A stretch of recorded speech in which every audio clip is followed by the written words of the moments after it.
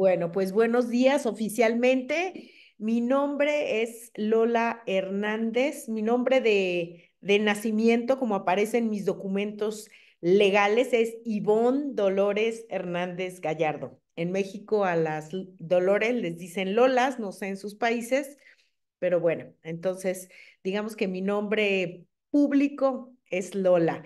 Me encantaría que me fueran escribiendo en el chat de qué lugar nos están acompañando, de qué lugar del mundo, de qué rincón del universo están acompañándonos.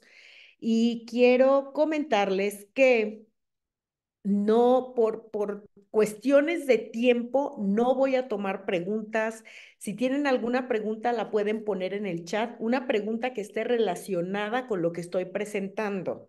Recuerden que este es un masterclass y no tenemos tiempo de, de responder preguntas, tenemos bastante material que cubrir. Quiero entregarles eh, la mayor cantidad de material eh, que pueda en, en, esta clase, pero yo leo sus preguntas y me parece que es una pregunta relevante en relación a lo que estamos hablando.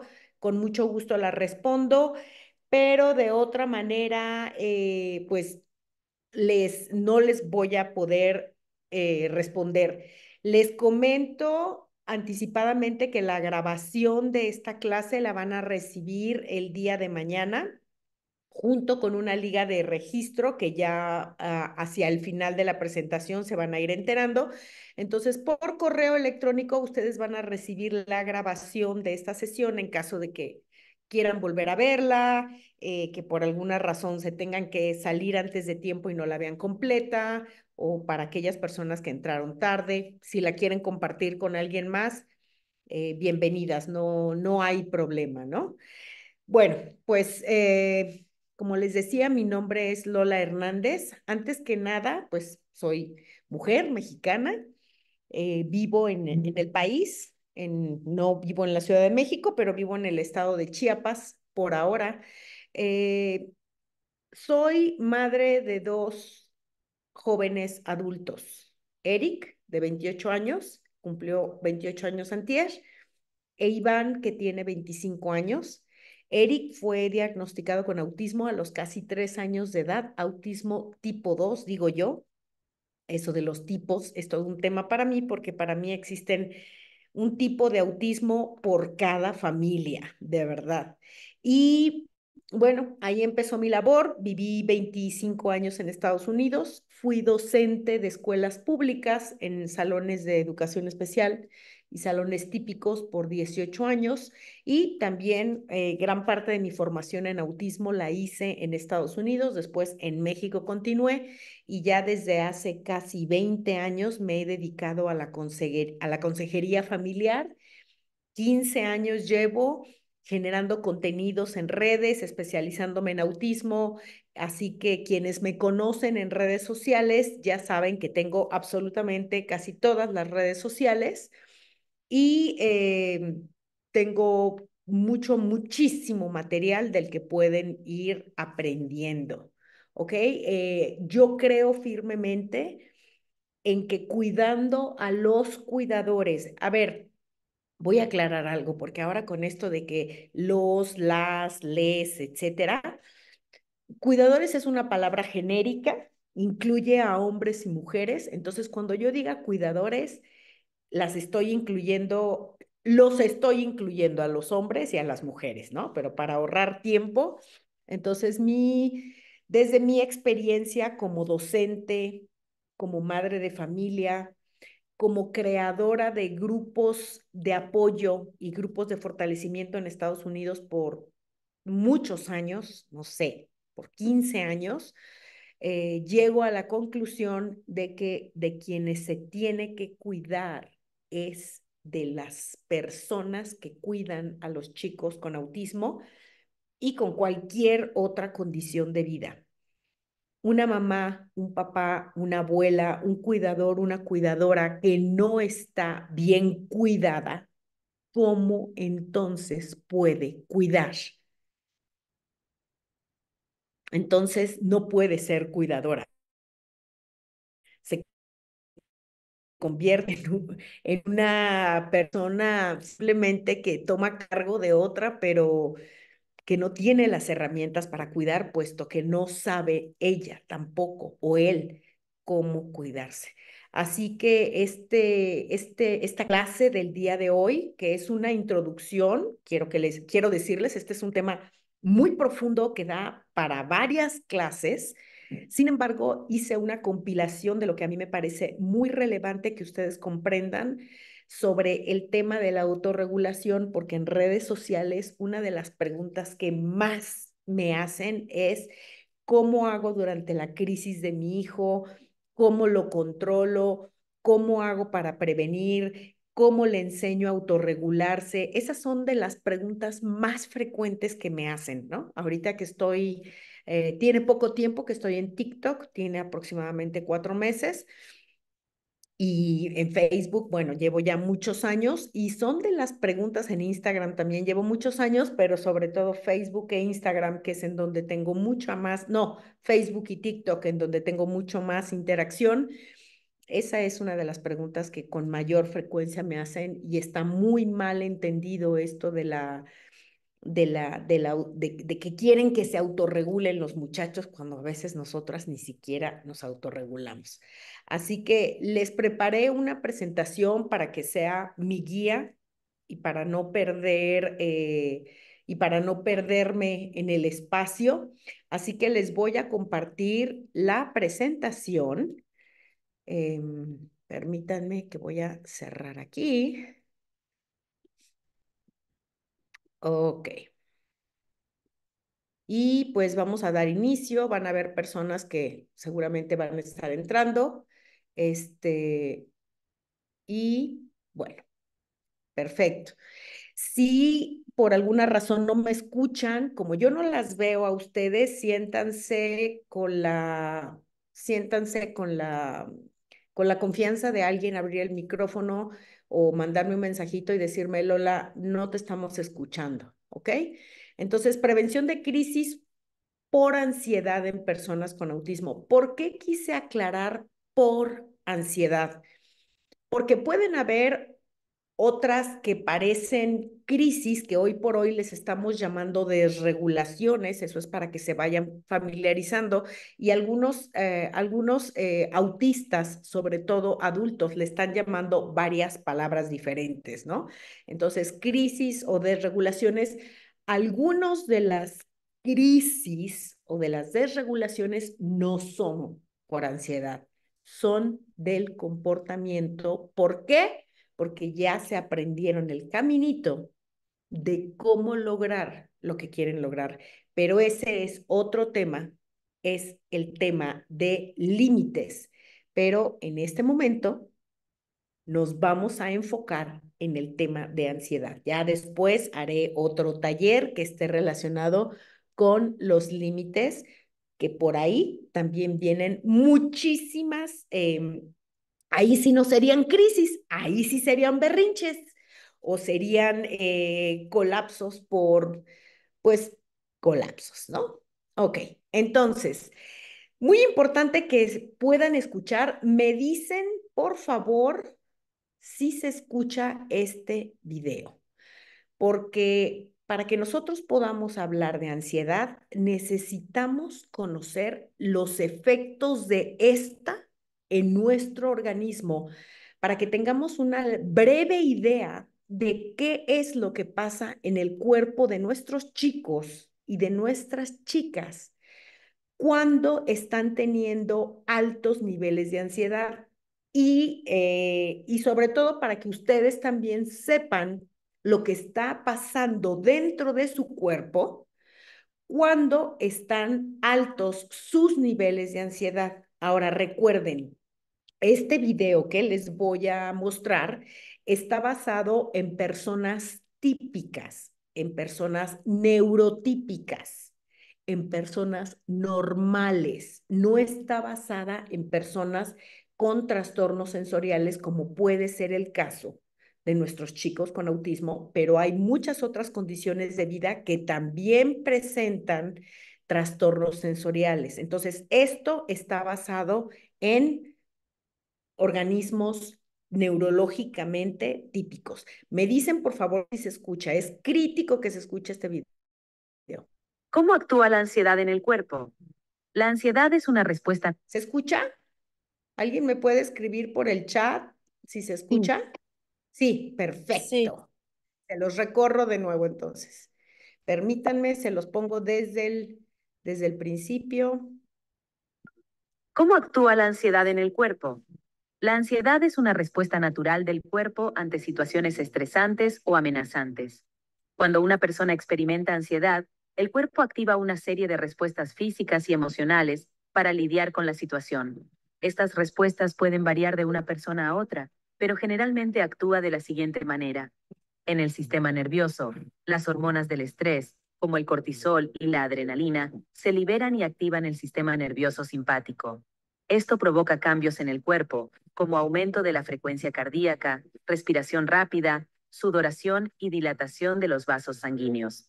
En el sistema cardiovascular, la presión arterial y la frecuencia cardíaca elevada causan palpitaciones, sensación de opresión en el pecho y en algunos casos un aumento en el riesgo de problemas cardíacos a largo plazo. En el sistema respiratorio, la respiración se vuelve rápida y superficial, es decir, la persona empieza a hiperventilar, causando sensación de falta de aire y opresión en el pecho. En el sistema digestivo, provoca dolor abdominal, náuseas, vómitos, diarrea o estreñimiento. Algunas personas también pueden experimentar la pérdida de apetito. En el sistema muscular, los músculos del cuello, hombros y mandíbulas se tensan, creando dolores de cabeza y rigidez muscular.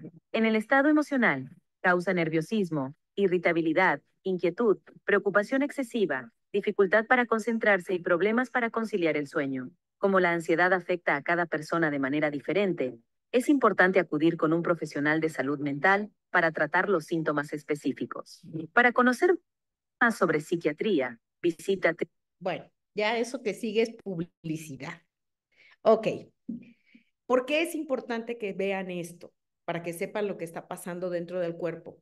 Porque si nosotros, seres humanos típicos, supuestamente con una neurología preparada para gestionar todo esto que se presentó en el video, palpitaciones, sudoraciones, dolores de cabeza, eh, elevado, eh, eh, o sea, una respiración agitada. Si para nosotros es complejo, ahora pueden imaginarse qué tan complejo es para una persona que está completamente desregulada emocional, sensorial y cognitivamente, y que encima de todo, quizá no tiene las herramientas de comunicación a nivel verbal para expresar qué es lo que está sintiendo. Si nosotros tenemos desafíos, ustedes se pueden imaginar los desafíos que tienen las otras personas y no me voy a, detener mucho en esto, pero recuerden que en el caso de nuestros chicos con autismo y también personas que tienen eh, trastornos sensoriales, suelen tener una gran deficiencia en el sistema vestibular, el propioceptivo y el interoceptivo. ¿Qué significa esto? Por ejemplo, en el tema del sistema interoceptivo es qué están sintiendo mis órganos por dentro, qué se siente, qué, qué información me está mandando mi intestino, qué información me está mandando mi corazón, qué información me está, eh, me está mandando eh, mi hígado. ¿Ok? Esto está totalmente... Mm, fuera de lo típico en nuestros chicos con autismo, de manera que ellos, por decir algo, podrían estar experimentando palpitaciones y ellos la, colocan, esa palpitación, en otro lugar de su cuerpo, porque simplemente saben que hay algo que está ocurriendo dentro, pero no saben en dónde ubicarlo. También hay algo que se dice mucho de las personas con autismo y es que ay, es que tiene un umbral de dolor muy alto. No, no, no, a veces no es umbral de dolor alto, eso tenemos que tener mucho cuidado.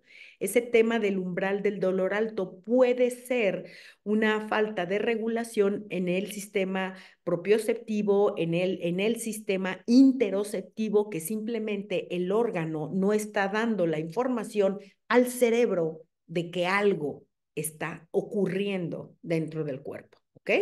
Ahora, datos, estos son datos duros sobre la ansiedad, porque si nosotros queremos ayudar a nuestros chicos y ayudarnos nosotras mismas con el tema de la regulación de la ansiedad, necesitamos tener una breve idea. En este momento ya ustedes vieron a nivel biológico algunas de las afectaciones que tiene. Ahora, en el caso del autismo, en, en, en ay, ¿por qué no quiere caminar? Ok, Fíjense bien, se dice que la ansiedad es una condición universal. ¿Por qué? Porque se basa mayormente en la emoción del miedo. Y el miedo es un una emoción universal que surge como una respuesta ante un estímulo que se percibe como amenazante.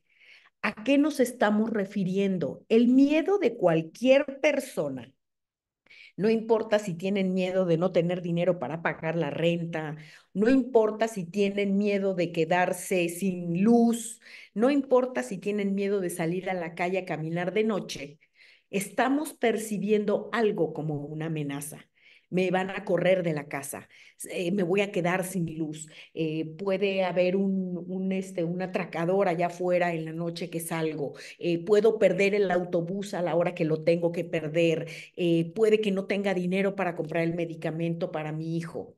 Todo eso son situaciones amenazantes.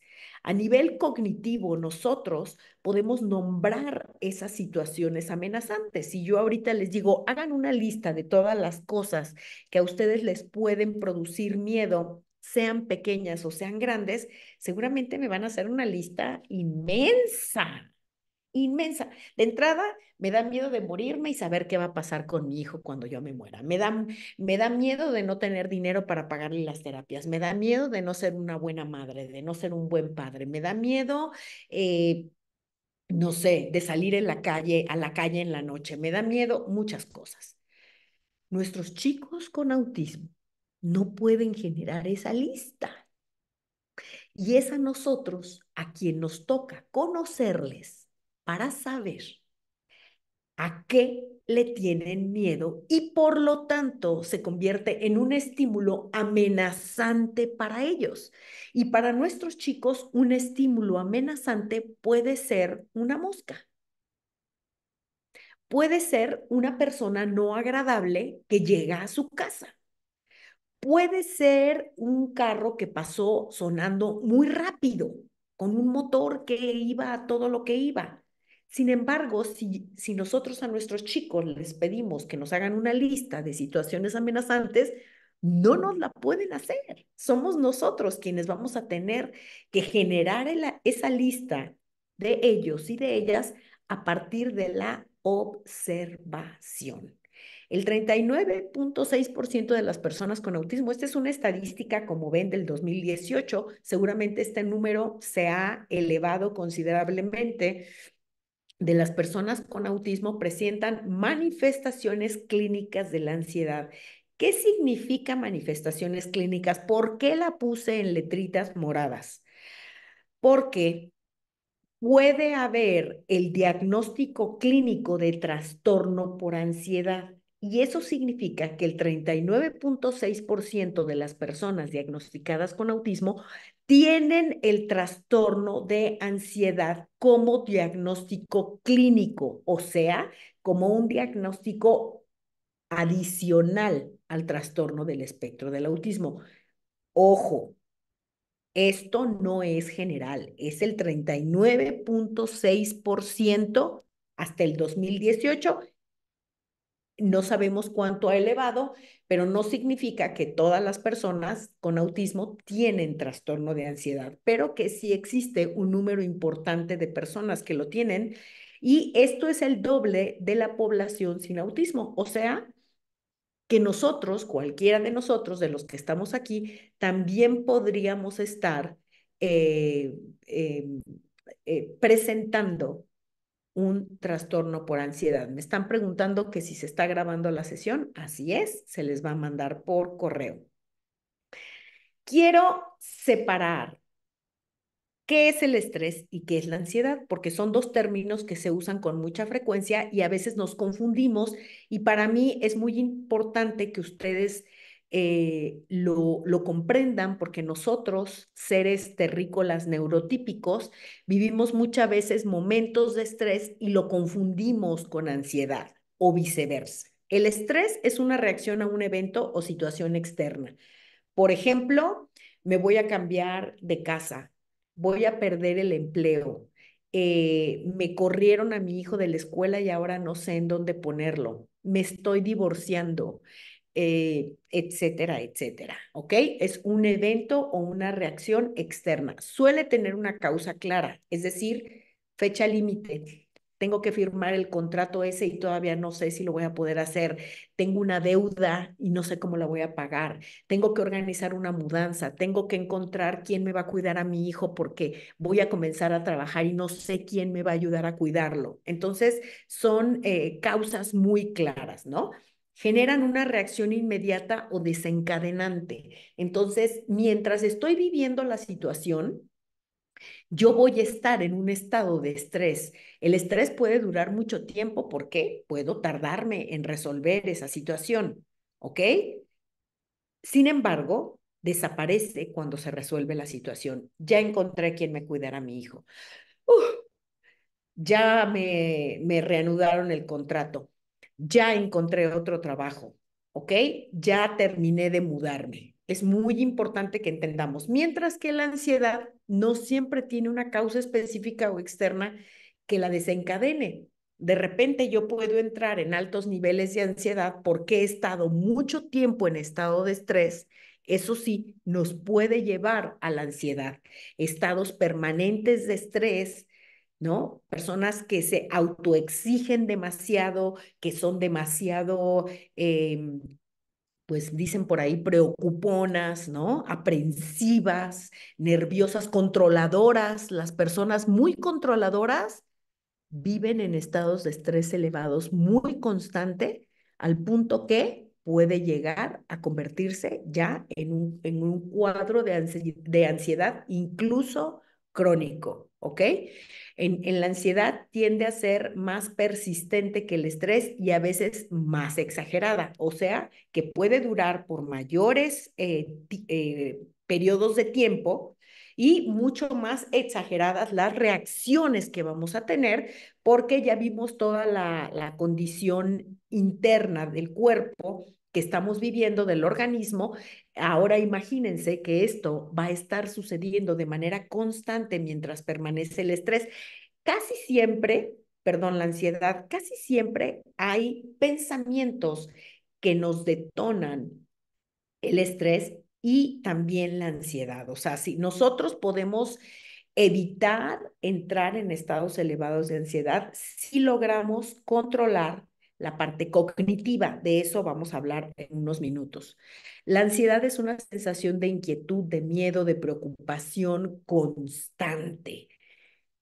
Nuestros chicos con autismo mayormente, y lo dice por ahí Temple Grandin y algunos ah, adultos con autismo, que su compañero de toda la vida es la preocupación y el miedo que no se lo pueden sacar de encima, dice Temple Grandin. Si ustedes la conocen, es una de las mujeres más famosas eh, y, de las que más edad tiene. Yo creo que ella tiene más de 60 años y nos ha enseñado muchísimo sobre autismo. Y ella dice que desde que ella tiene uso de razón, ella ha sentido miedo y preocupación constante y en momentos se eleva. ¿Ok? Entonces es por eso que nosotros tenemos que ayudar a nuestros hijos con la regulación, sobre todo a nivel sensorial. Ahora, ¿qué aspectos se supone que deberían de estar estables para que ocurra la autorregulación emocional. Esa famosa autorregulación que tanto me preguntan en las redes sociales. ¿Cómo hago para que mi hijo se autorregule? Es que, ¿cómo le enseño a autorregularse? Mi pregunta es, ¿cómo te autorregulas tú? O más bien mi pregunta es, ¿y tú te sabes autorregular? Ahí se las dejo. Estos son los pilares de la autorregulación. Fíjense bien, esto, es, esto me encanta, ¿ok? Algo sucede. Cualquier evento, cualquier acontecimiento, vamos a, vamos a tomar un ejemplo de los que les llegan a ocurrir a nuestros eh, chicos, ¿no? Se les pierde su objeto favorito o no lo encuentran. No encuentran su objeto favorito lamentablemente nuestros chicos no tienen la capacidad cognitiva para decir, bueno, algunos sí, muchísimos sí, depende del tipo de autismo, pero muchos de ellos no tienen todas las habilidades cognitivas para decir, lo voy a buscar. Y no solo eso, sino dónde lo voy a buscar. Generalmente, si a nuestros chicos se les pierde un objeto o no encuentran un objeto que es muy preciado para ellos, ¿Dónde lo buscan? En el lugar en donde siempre lo ponen. Y tú les dices, búscalo y lo vuelven a buscar en ese lugar. Y, solamente en ese lugar lo buscan. No se les ocurre levantar una almohada, agacharse a la cama. Esto se puede ir desarrollando, ¿eh? Esto se desarrolla, pero esta es una habilidad cognitiva. Ahora, se les pierde el objeto. Primero viene el pensamiento. Tiene pensamiento sobre lo que acaba de suceder. O sea, no encuentro mi dinosaurio. Voy a hablar en el caso de Eric. No encuentro mi dinosaurio favorito, no lo encuentro, no lo encuentro, no lo encuentro. Entran los niveles de ansiedad, comienzan a subir. Emoción. Experimentan emociones y sentimientos basados en qué? En el pensamiento de que no encuentran el dinosaurio como no encuentran el dinosaurio, comienzan a sentir que el estómago se les revuelve, que las manos les sudan, que les empieza a palpitar el corazón, ¿ok?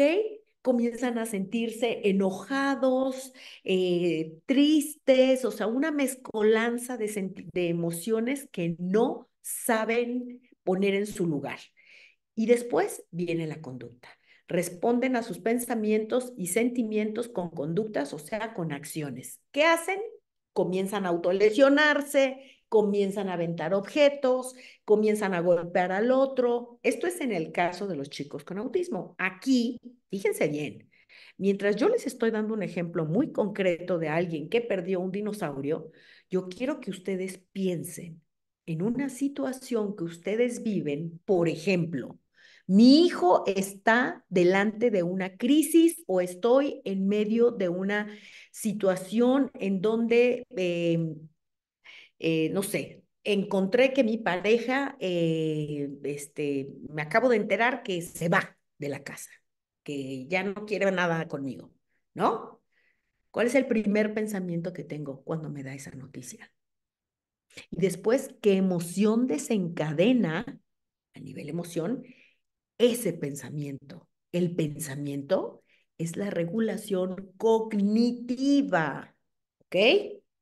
Después viene la regulación emocional, ¿qué estoy sintiendo? Y después la conducta. Le grito, lo agredo, le, le, aviento sus cosas a la calle, este, bueno, le, le digo a sus hijos quién sabe qué cosas, o sea, tomo acción, lo manifiesto en conductas.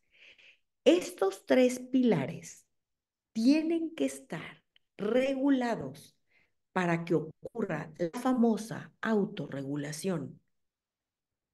Gran tarea que tenemos con nuestros chicos y gran tarea que tenemos con nosotros mismos, porque lo primero que tenemos que autorregular es el pensamiento.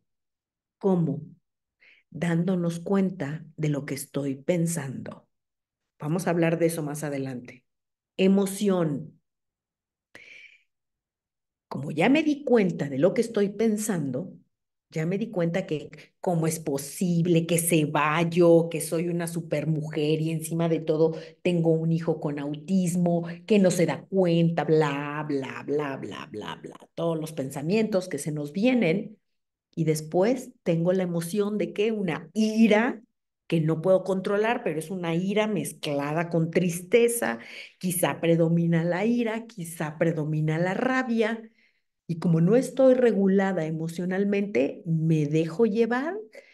En México decimos como gorda en tobogán por la emoción y la conducta.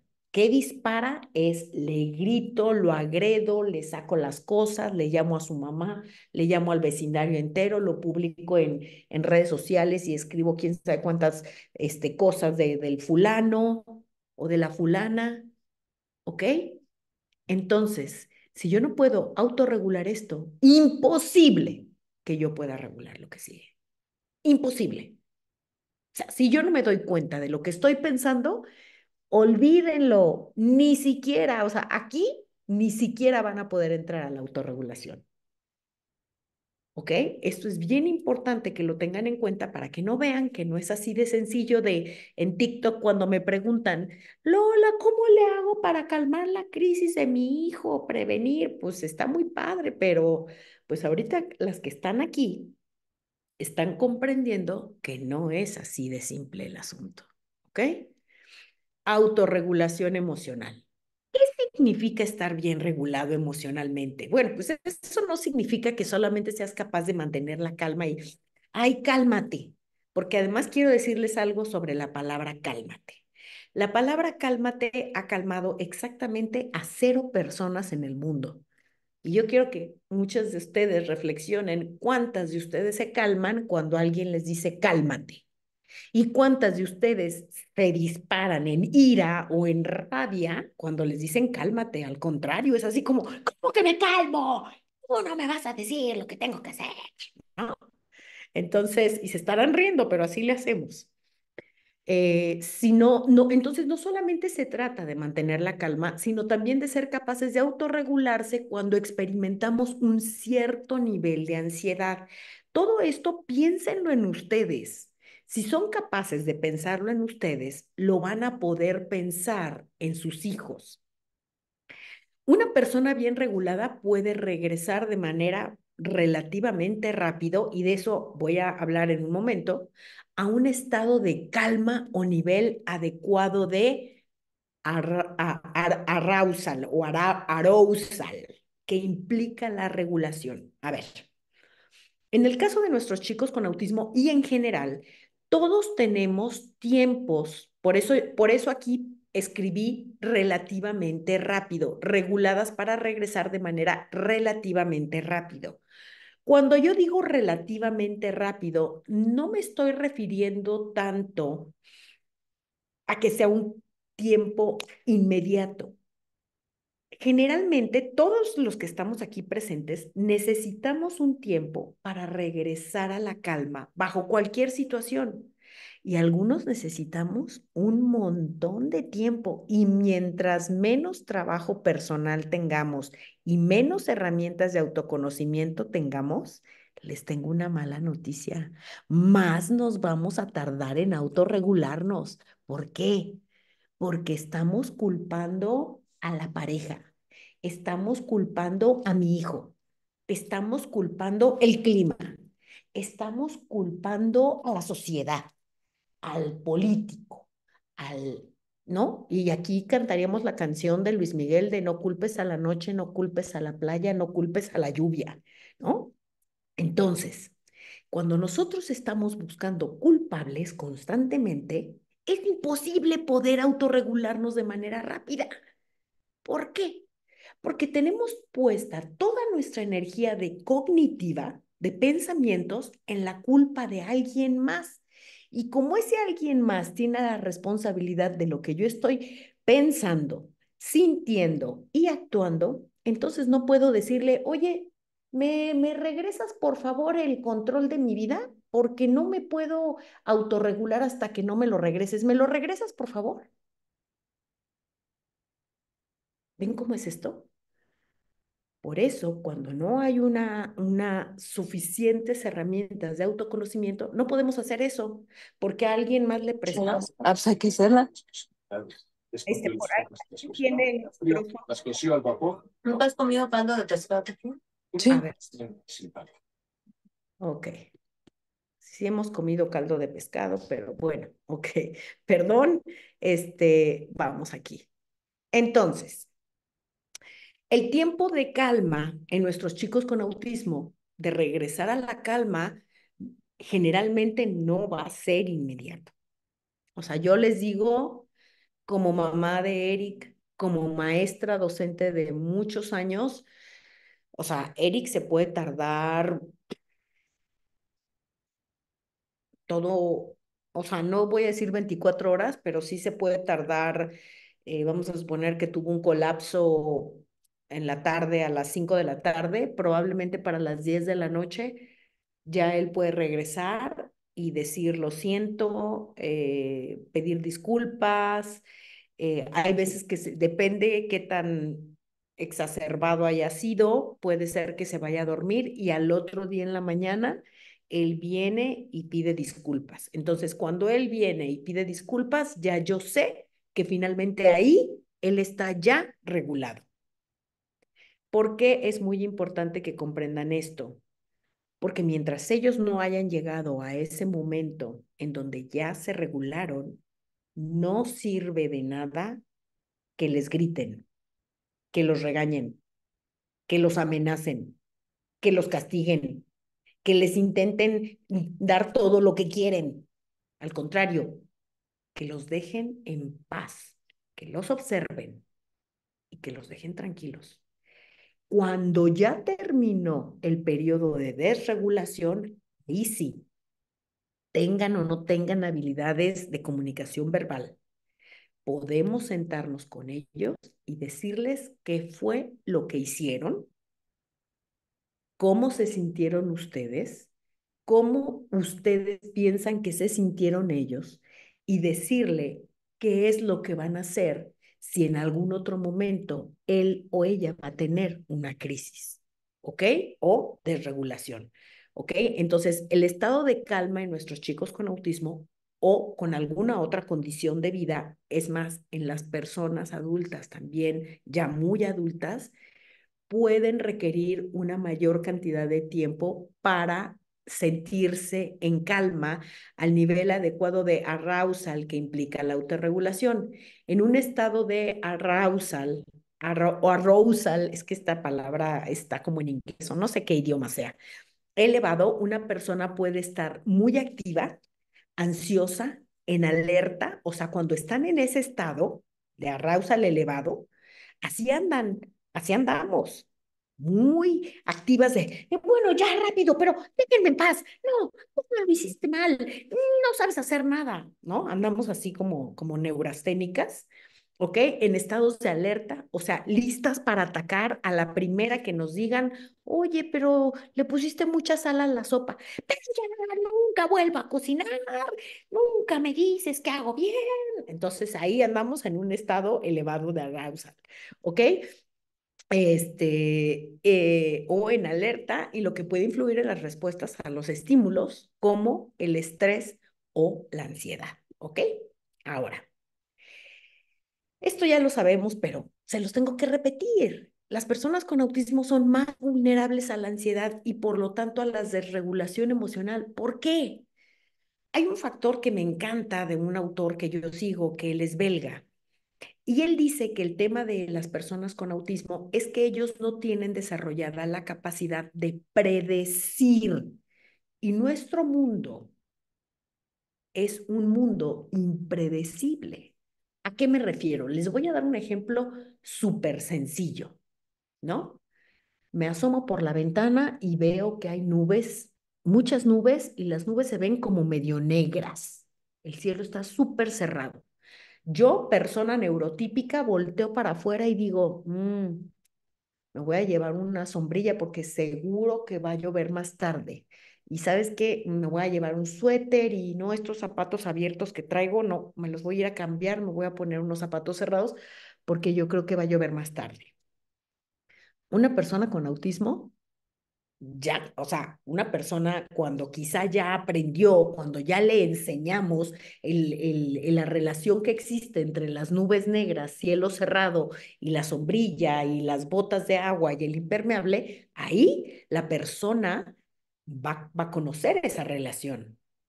Sin embargo, la persona con autismo va a salir a la calle, no va a llevar sombrilla, no va a llevar, no le importa si lleva zapatos cerrados o no, eh, no le importa si lleva suéter o no, si lleva impermeable o no. Y no es porque no le importa, es porque no vincula nada de eso con nuestro cielo. ¿Por qué? Porque no tenemos desarrollada esta parte neurológica nuestra que nos permite predecir por eso, cuando nosotros actuamos como adultos impredecibles, o sea, que de repente estamos cocinando muy tranquilas o leyendo algo, haciendo algo, y resulta que volteamos a ver el reloj y se nos empieza a hacer tarde para la cita de no sé qué, de lo que sea. Pero estamos tranquilas aquí limpiando, tranquilas, escribiendo y de repente vemos el reloj nos tenemos que ir. Eso es una reacción impredecible para ellos. O sea, ¿de dónde esta mujer cara de papa empezó a gritar? O sea, ¿de, de, de, de dónde me, ahora que estaba tan tranquila, ahora sí que estábamos tan tranquilos aquí todos, y tú de repente gritaste que, que nos teníamos que ir. Entonces, mientras más comportamientos impredecibles tengamos nosotros, más desayudamos a nuestros chicos a regularse. Porque recuerden, para ellos predecir cualquier cosa, por eso son, por eso se dice que son sujetos de abuso tan fácilmente. Por eso eh, ir a lugares nuevos es muy difícil para ellos. Por eso hablan de avisarles con anticipación, porque su sentido de predicción no funciona no funciona. Predecir lo que tú quieres que yo te diga para que te sientas bien, predecir lo que debo hacer cuando yo llegue a esa fiesta que me platicaste que vamos a ir, pero yo, yo no sé ni, ni, ni cómo va a ser ese lugar, ni quién va a estar ahí, o sea, no, no tengo idea, no puedo predecir, yo sí, adulto típico, sí puedo predecir que voy a llegar a una fiesta, que quizá va a haber mucho ruido, que quizá van a haber muchos colores, olores, comida que le va a gustar o no le va a gustar a mi hijo. Yo sí tengo esa capacidad, nuestros chicos no. Y eso los hace vulnerables. Existen muchísimos factores que pueden predisponer a una persona a vivir altos niveles de ansiedad. Yo solamente elegí unos. Genética, ¿a qué me refiero? Pues si tenemos una mamá o un papá que se la vive en estado de ansiedad o que incluso ha sido diagnosticado con un trastorno de ansiedad o con cualquier otro trastorno del neurodesarrollo, pues existe una alta probabilidad de que nuestros chicos sean mucho más propensos a vivir en estados elevados de ansiedad. Y no solo papá y mamá, también tenemos que voltear a ver a los abuelos. Y por ahí les, y por ahí les cuento, también a los bisabuelos y también a los tatarabuelos. ¿Me entienden? O sea, esta cuestión de la genética no se limita a mamá y papá. Lola, yo no conozco ni a mi, no conocí ni a mis bisabuelos, ni a mis tatarabuelos, ni a, mi, ni a mis tatatarataratatara, no. No importa. Simplemente cuando hay un factor genético no significa que es hereditario. Es diferente que sea hereditario a que sea genético. Genético significa está en mis genes y puedo o no detonarlo. Puede o no suceder. Hereditario es a fuerza, es como una herencia, toma, ahí está, mira, te heredo mi rancho, ahí está, ¿no? O sea, a fuerza que lo vas a tener, porque ahí está el rancho y este, este, este, en la escritura dice que es tuyo. Entonces, es diferente decir es hereditario que es genético, ojo. Definitivamente otro factor es tener el diagnóstico de autismo, tener alguna condición del neurodesarrollo o alguna enfermedad mental. O sea, generalmente vamos a ser propensos a elevados niveles de ansiedad si tengo alguna de estas condiciones.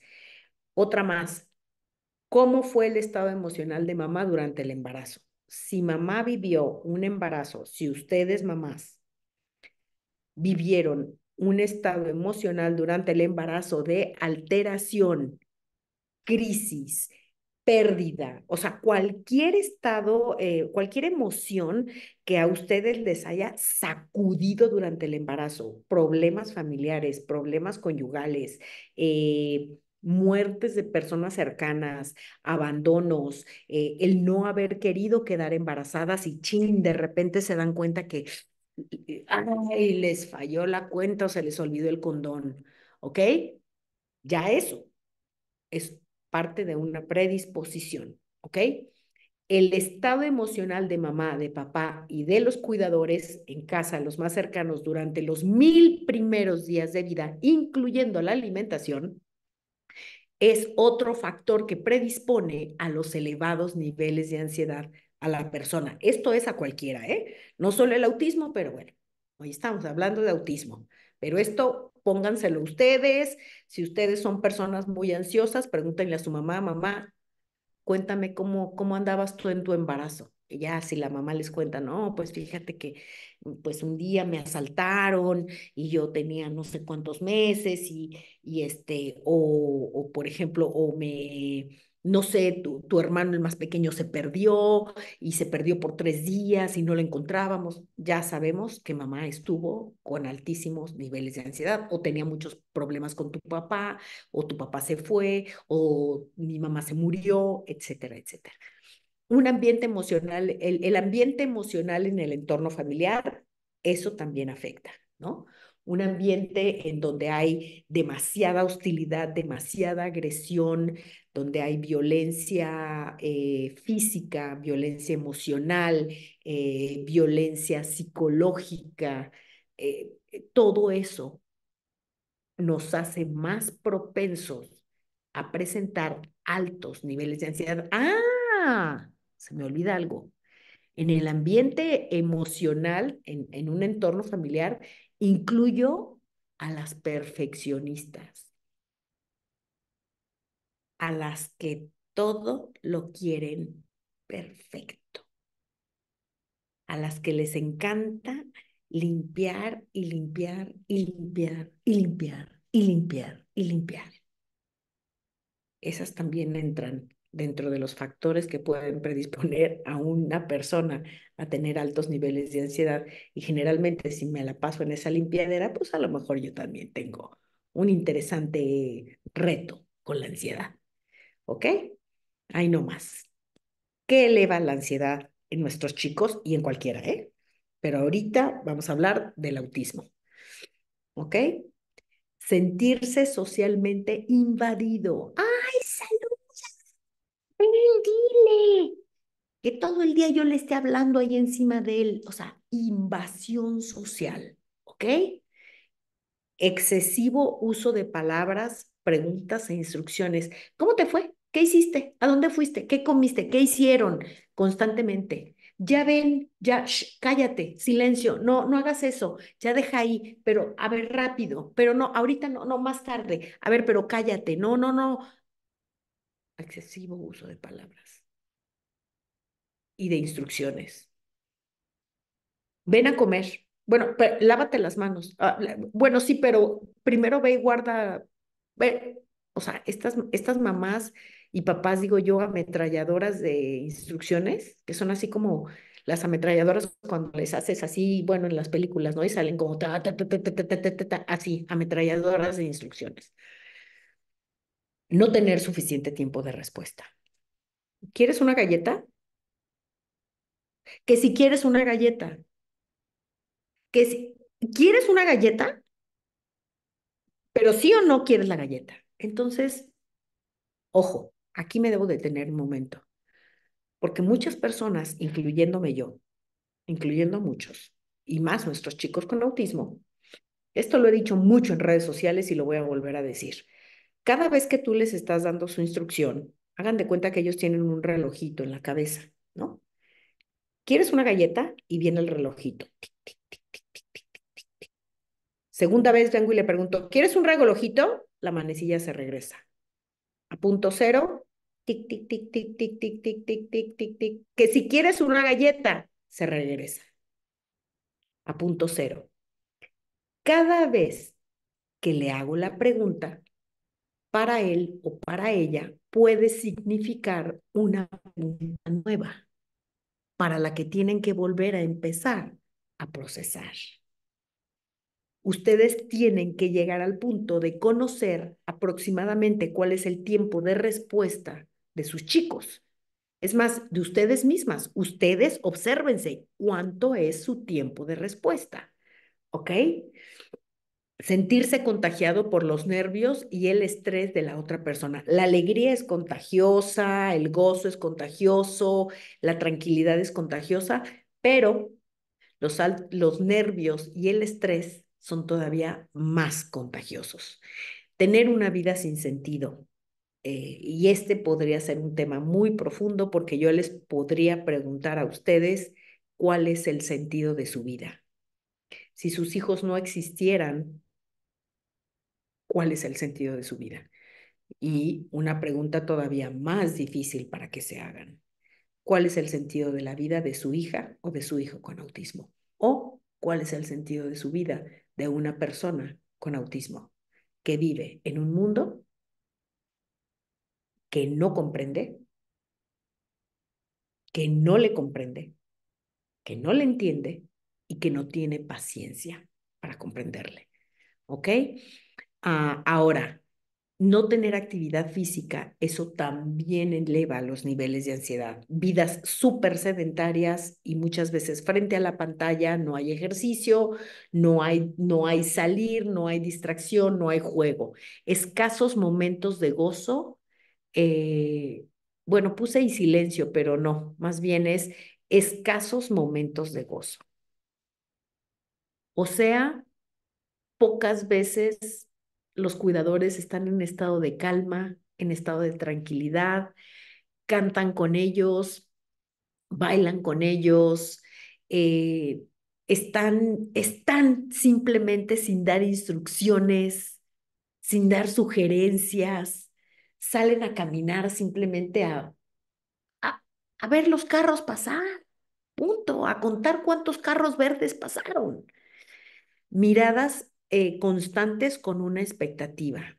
Estar mirándolos constantemente con una expectativa y ellos no saben, no saben qué estás esperando. Acuérdense de esta parte de la predictividad, ¿no?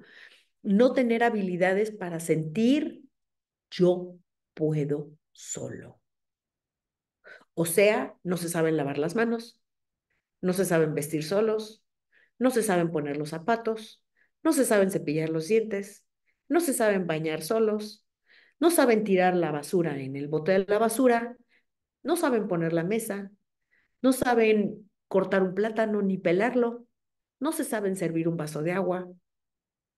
Los inutilizamos para todo. Y queremos hacer todo por ellos. Entonces, ¿cómo me siento yo? Soy un inútil. No puedo hacer nada. ¿Ok? ¿Qué más? ¿Qué otros aspectos elevan el nivel de ansiedad?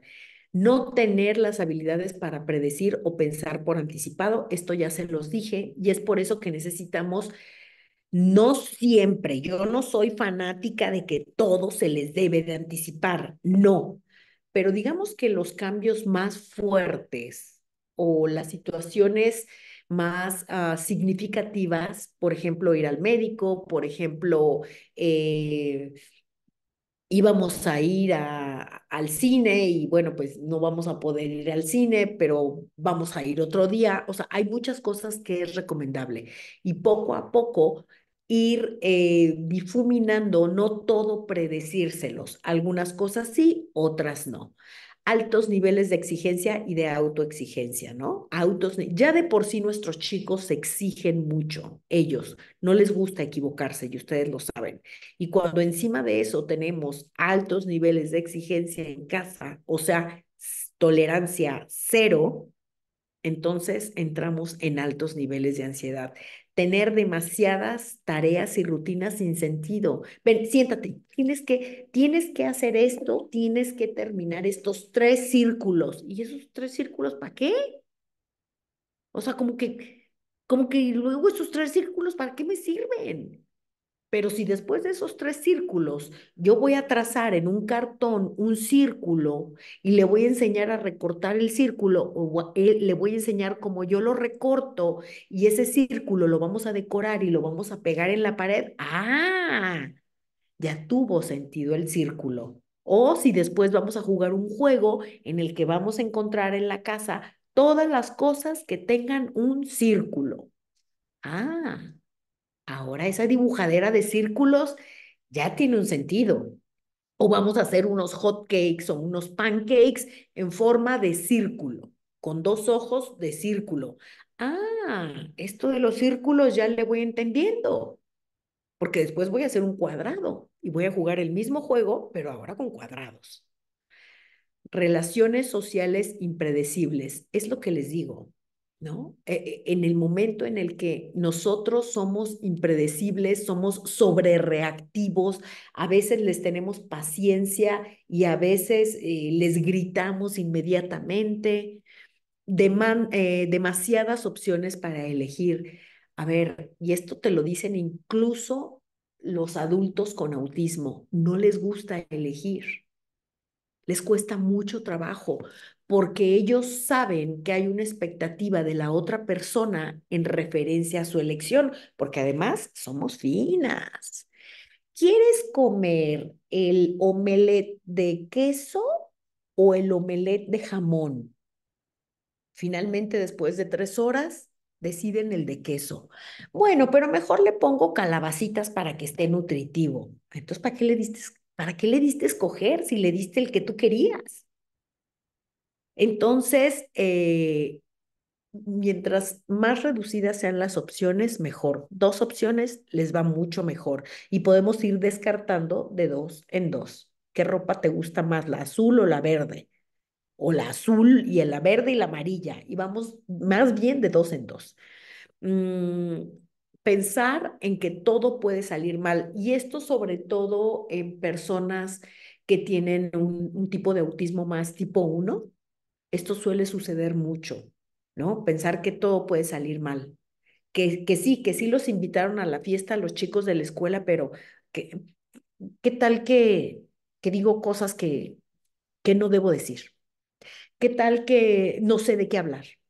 ¿Y qué tal que, que la música que van a poner va a estar muy fuerte y, y, este, y entonces eh, yo, a mí no me gusta la música fuerte?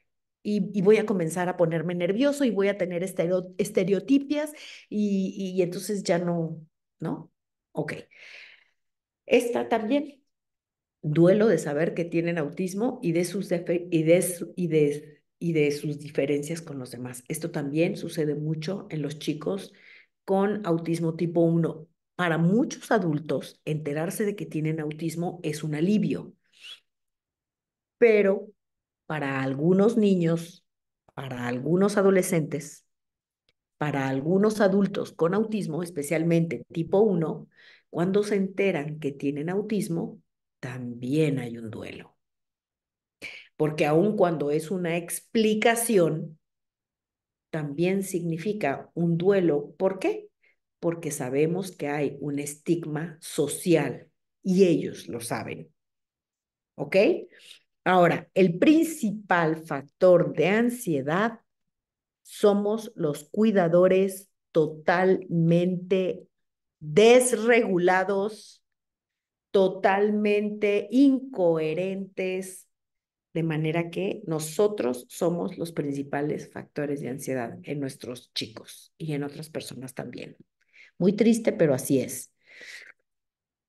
Experiencias frecuentes de ansiedad en la niñez hacen que ésta se cronifique en la vida adulta. Ojo, no sé qué edad tienen sus chicos. El mío tiene 28. Mientras más experiencias de ansiedad se viven en la infancia y en la adolescencia, en la vida adulta no les cuento. No les cuento. Todos esos videos que ven en TikTok de, de, de, de los chicos ya adultos golpeando a la mamá y golpeándose ellos, que, ah, o sea, esos son chicos que seguro desde la infancia no lograron encontrar una manera de regularse. Bueno, no que encontraron ellos la manera, sino que no hubieron las situaciones para que ellos se regularan. Entonces, regular a un adulto que durante toda su infancia y su adolescencia no se, no se le dieron suficientes herramientas, no voy a decir que es imposible, pero se hace bien difícil. Piénsenlo ustedes, piénsenlo en ustedes, qué tan fácil es regularse emocionalmente, cognitivamente, qué tan fácil. O sea, ya cuando somos adultos ya estamos hablando de otra cosa. Ahora, Lola, bueno, sí, ya nos estás diciendo todas estas cosas, qué barbaridad. Ahora estoy, ahora me quedé más preocupada de cómo entré en la clase. Bueno, pero ¿y qué vamos a hacer para reducir los niveles de ansiedad y prevenir las crisis? Bueno, aquí viene la parte. Yo espero que estén tomando nota. Lo bueno es que les voy a mandar este video y ustedes van a poder eh, revisar sus notas y van a poder eh, este, pues van a poder escuchar de nuevo y tomar sus notas. Fíjense bien. Una de las primeras cosas que pueden hacer y que deben hacer, ¿se acuerdan que les hablé de los tres pilares para la autorregulación? No sé si se acuerdan. Les dije el del pensamiento, el de la emoción y el de la conducta. ¿Ya? ¿Se acordaron? Va. Vamos a enfocarnos ahorita en ese primer pilar que es el cognitivo, el del pensamiento. ¿Qué significa? Estar consciente, estar presentes, o sea, darte cuenta que puedes percibir los estímulos sensoriales, eh, imágenes, sensaciones físicas, ¿ok? Darse cuenta de qué es yo, no, aquí no estoy hablando de sus hijos, ni de nuestros chicos, estudiantes, pacientes, depende, depende a qué relación tienen ustedes con el autismo. Darse cuenta de que hay un sonido, ay, hay un ruido, mira, ay, ¿ya oyeron ese ruido? ¿No les ha pasado que están en la casa y dices, ay, ese ruidito, ¿de qué es? Y por allá le dicen a alguien, oye, ¿tú no oyes el ruidito ese? No, yo no lo oigo. No, pero pon atención. Ay, sí tienes razón, ya lo oí. Será el refrigerador. Estar consciente, darse cuenta de sonidos, de imágenes. Oye, tú no ves como una sombra que está pasando por aquí. Sí, mira, eh, ¿ya la viste? No, yo no veo nada. Darse cuenta de imágenes, de cosas que pasan, sensaciones físicas, Ay, yo sentí como escalofríos cuando llegué a este lugar. ¡Uy, uy, qué cosa! Uy, yo nada más llegué ahí, me empezó a latir el corazón así, no, no sé exactamente qué, pero lo que sí me di cuenta es que me empezó a latir más fuerte el corazón. O me di cuenta que cuando hablé con fulanita de tal, me empezaron a sudar las manos. ¿Por qué me habrán sudado las manos? Ya después viene la parte emocional, pero lo primero es darse cuenta. Entonces, cuando estamos en medio de una crisis, mamá, papá, abuela, cuidadora, cuidador, docente, terapeuta, obsérvate tú, qué está pasando en tu cuerpo. Y no solamente eso, observa el entorno para ver si hay algo que pudo haber detonado esa situación que está enfrente de ti. Pero obsérvate tú. A lo mejor tú comenzaste a entrar en estados de ansiedad antes de que sucediera la crisis y esa crisis que está ahí está reaccionando a tu sensación de estrés elevado. Poner atención, eso significa estar consciente y estar presente, poner atención, darte cuenta de tus propios pensamientos, qué estoy pensando, qué estoy pensando que lo quiero colgar de una lámpara, que en qué momento se me ocurrió ser mamá, que no es posible que, que esto que ya lo habíamos logrado otra vez, tenemos que empezar de cero. No es posible que esa persona se fue cuando, me, cuando que no se da cuenta de todo el trabajo que hay aquí. ¿Ok? Darte cuenta de qué caramba estás pensando y de qué emociones estás viviendo y de cuáles están siendo tus comportamientos. Oye, estoy actuando súper agresiva. Oye, estoy actuando, eh, estoy actuando como una víctima, quejándome, quejándome, quejándome todo el tiempo, echándole la culpa a todo mundo, pero me doy cuenta. Tomar decisiones, tener el control sobre tus acciones. Y aquí es muy importante lo que les dije tener el control sobre tus acciones. No es que la otra persona a la que estás culpando es la que tiene el control de tus acciones, no. No, no, pero yo actúo así porque él me dijo y me hizo y ella me dijo y me hizo y le dijo a la otra y entonces por eso yo le grité y, y bla, bla, bla. Entonces, ¿cuándo tú vas a tener control sobre tus acciones? ¿ok? Sobre tus acciones, sobre tus decisiones y no actuar de manera automática e impulsiva.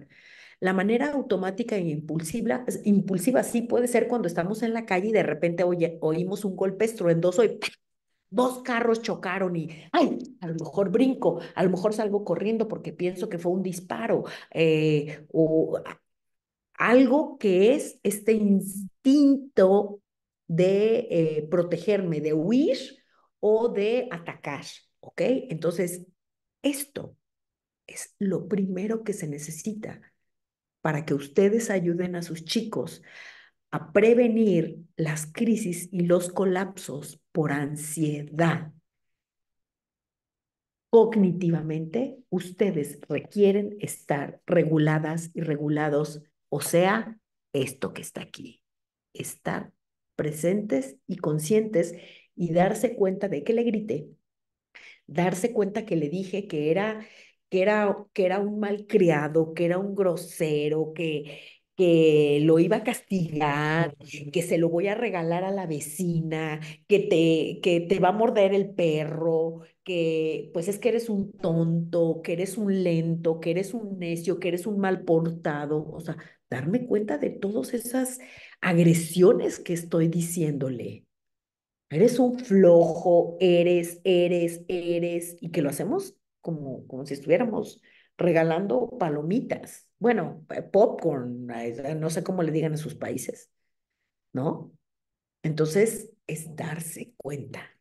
Ahora, ¿qué más? ¿Qué ayuda a reducir el, el nivel de ansiedad? asegura que tiene un espacio seguro en casa o, por ejemplo, en la escuela o en el espacio terapéutico para regular todos los estímulos sensoriales que está recibiendo, ¿no? Asegúrate que él sabe, no se trata de, pues vete castigado a tu cuarto, allá te quedas, estás castigado. No, no, no, no, no hagas eso, porque entonces cortes su habitación o conviertes aquel espacio o en la escuela convierten aquel espacio en un espacio de más desregulación, porque si de por sí nuestros chicos tienen un tema importante con eh, equivocarse, con no equivocarse, que son muy exigentes con ellos mismos para, eh, para estar, hacer todo perfecto, y encima de todo, cuando yo los mando a aquel espacio es porque lo hicieron todo mal, lo único que estamos asegurando es que sus niveles de ansiedad se disparen a todo lo que da. Mientras que más bien ese espacio se debe convertir en un espacio de relájate un momento. Ve a relajarte un momento, ve a respirar un momento, ve a tu espacio de respiración, porque yo también necesito el mío, ¿ok? generar más momentos de gozo, por favor, canten, bailen, vayan al parque, salgan, a caminar, eh, vayan juntos a la tiendita y cómprense este, pues algo, alguito que les guste, em, hagan algo que les dé gozo, siéntense a ver una película con ellos, una que saben que les gusta muchísimo y cuando salgan los muñequitos cantando, canten ustedes. Eh, disfrácense, cuenten cuentos, o sea, hagan cosas, cosas, eh, voy a decir algo que, cosas locas, pues, o sea, cosas, pero no locas de, sin sentido, sino, no sé, o sea, cosas que, que los saquen de ese estado en el que están viviendo. De, de tanto preocupación, de me voy a morir y qué va a pasar y, y mi hijo no sabe hacer nada y no tengo dinero y la escuela me lo corre. O sea, vivimos en eso.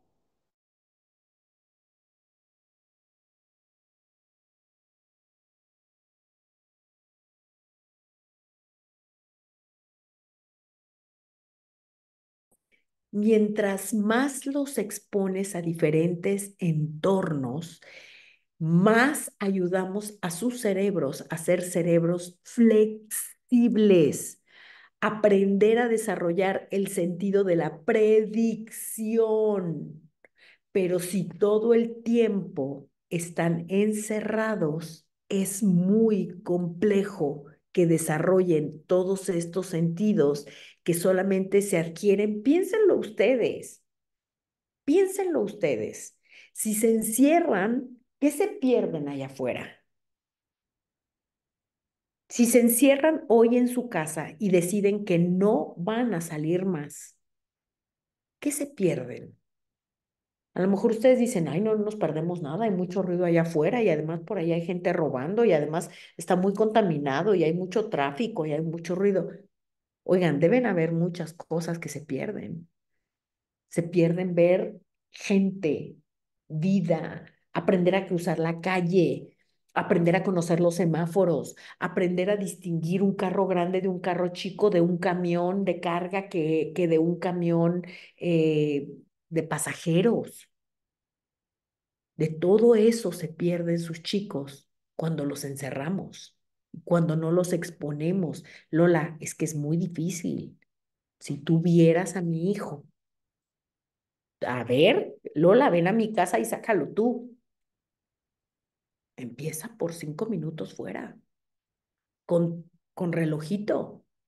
Salte cinco minutos a caminar, enséñale lo que estás viendo y después regresen y después vayan incrementando los tiempos. Genera una rutina de ejercicio por lo menos tres veces por semana. Ay, no, mi hijo hace mucho ejercicio, él se la pasa corriendo todo el día en la casa, ¿vieras? Corre para acá, corre para allá, corre para acá, está haciendo sus movimientos estereotipados. Eso no es ejercicio. Eso no es ejercicio. Eso es que se están autoestimulando y muchas veces se están sobreestimulando. Lo que ustedes no saben es que estos chicos que están todo el tiempo corriendo, bueno, o la mayor parte del tiempo corriendo, corriendo, corriendo en casa, dando vueltas, vueltas, vueltas y haciendo todos los movimientos estereotipados demasiado tiempo, lo que están haciendo es hiperestimularse. Y suelen ser chicos que tienen problemas para dormir.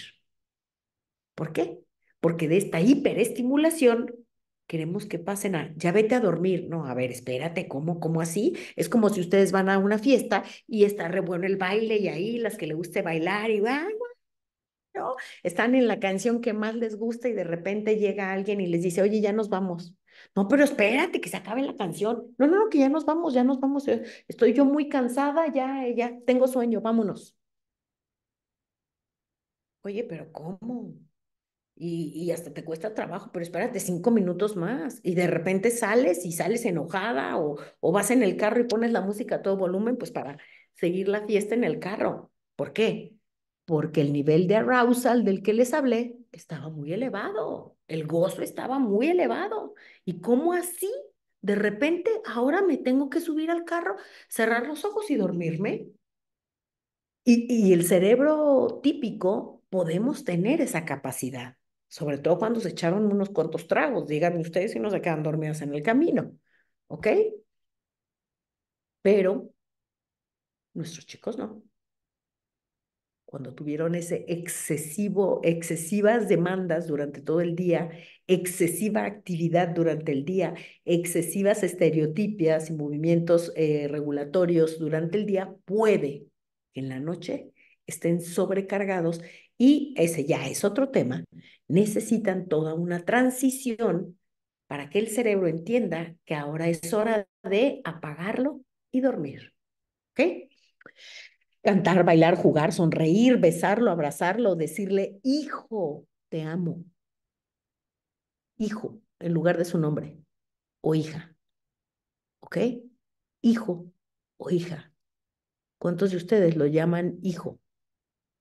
hija, con más frecuencia que por su nombre. Y por favor, paréntesis, no les anden cambiando el nombre. Juanito, ven. No, Juanito, no, Juan. Regálenles la fuerza de su nombre. Bebé. Mi bebé de ocho años no quiere comer. No, no, no. Cuando me dicen eso en redes, yo casi que, casi que, casi que colapso. No los hagan bebés de ocho años. No son bebés. Un bebé tiene un año. Ya.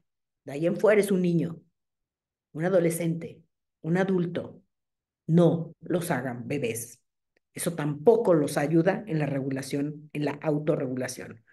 Enséñenles el mundo cuando vayan por la calle. Mira, ¿ya viste ese pájaro, hijo? Ah, ya lo viste. Eh, creo que se llama cardenal. Mira este árbol. Mira lo que tiene ahí un gusano. ¡Ah! ¿Es un gusano? A ver, mira, ven, ¿ya lo viste? Ah, no, es una cucaracha. Mira, esta es una cucaracha. O sea, enséñenles el mundo. Enséñenselos. Coméntenles lo que ven. Esta es una tienda, mira, aquí venden em, piso para, para poner en las casas. Ven, mira, vamos a entrar, te voy a enseñar cómo se ve el piso antes de que lo pongan en la casa. Mira, ven, entras. Mira, mira este azulejo, mira, es cuadrado, ¿ya viste? Y luego este lo pones en el piso y entonces ya es el que ponen en el suelo. Ah, ahí les estamos enseñando a generar conexiones neurológicas, haciéndolos personas que vayan conectando la información del cuadrado con el piso, con para qué sirven las cosas, de dónde salen. Ellos no lo van a aprender como lo aprendieron, como lo aprendimos tú y yo. A ellos se los tenemos que enseñar. ¿Todo, Lola? Todo. ¿Sabes de dónde viene? Bueno, este ya lápiz pues ya es de plástico, ¿verdad? Pero vamos a suponer que es de, que es de madera. ¿Sabes? Mira, esta es madera. Eh, viene de un tronco de madera. Mira, este árbol, este árbol, mira, este es el tronco de madera. Después cortan el tronco y en una fábrica de lápices cortan la madera en pedacitos. Le puedo mostrar un video de YouTube cómo lo hacen y hacen lápices. Lola, mi hijo no habla. No me importa. Tú trátalo como si hablara. ¿Ok? No me importa si no habla. No me importa, me da lo mismo. Es irrelevante. Eso no significa, y, no voy a decir una palabrota porque este video puede girar por el mundo, ¿verdad? o sea, son personas con una inteligencia importante. Entonces, no los tratemos como tontos. El hecho de que no hablen no significa que son tontos y que no tienen inteligencia. ¿Ok? Cuéntenle historial, léanle cuentos, descríbanle lo, que tú estás haciendo. Mira, estoy haciendo unos, un pastel de chocolate. Mira, esta es la harina. Ven, si quieres, ven. Ah, mira, necesita huevos. tú traes los huevos, tú se los pones, ¿ok? ¿Qué más pueden hacer? Enséñale a ser autónomo, a vestirse, a bañarse, a lavarse las manos, a ir al baño baño, a comer, a ayudar en la casa, a elegir su ropa, a cepillarse los dientes, etcétera, etcétera, etcétera. Mientras se acuerdan que les dije que uno de los factores que afecta es que no saben, no tienen sentido de vida y que no son capaces de decir yo puedo, pues imagínate, y si no saben hacer nada de esto, todos se los tienes que hacer tú y todos se los quieres hacer tú. ¿Por qué? Porque ellos lo hacen mal, yo lo hago bien entonces vas a seguir teniendo un ser humano en casa, no solamente 100% dependiente, sino que va a tener un cuadro propicio para los elevados niveles de ansiedad. Deja de dar tantas instrucciones. A veces tienes que hablar menos, instrucciones cortas y no todo el día, por favor, ni a él ni a ninguno de tus hijos, tengan o no tengan autismo. Nómbrale lo que hace bien y alégrate por sus logros y los tuyos. Es que mi hijo no avanza. Cuando a mí me, dicen, me dicen mi hijo no avanza, Yo digo, ¿de verdad no avanza? Está así como, como en la cuna, ahí tirado en la cuna nada más como los bebés chiquitos. ¿De verdad no ha avanzado absolutamente nada? ¿O no te quieres dar cuenta? Porque si tu hijo no avanza, quiere decir que tú no has hecho nada. No es que yo he hecho muchísimo y no avanza. Bueno, pues entonces en algo ya tuvo que haber avanzado. Celébrale ese avance y celébralo también para ti. ¿Ok? Para de quejarte constantemente. Sobre todo de quejarte con los demás delante de él.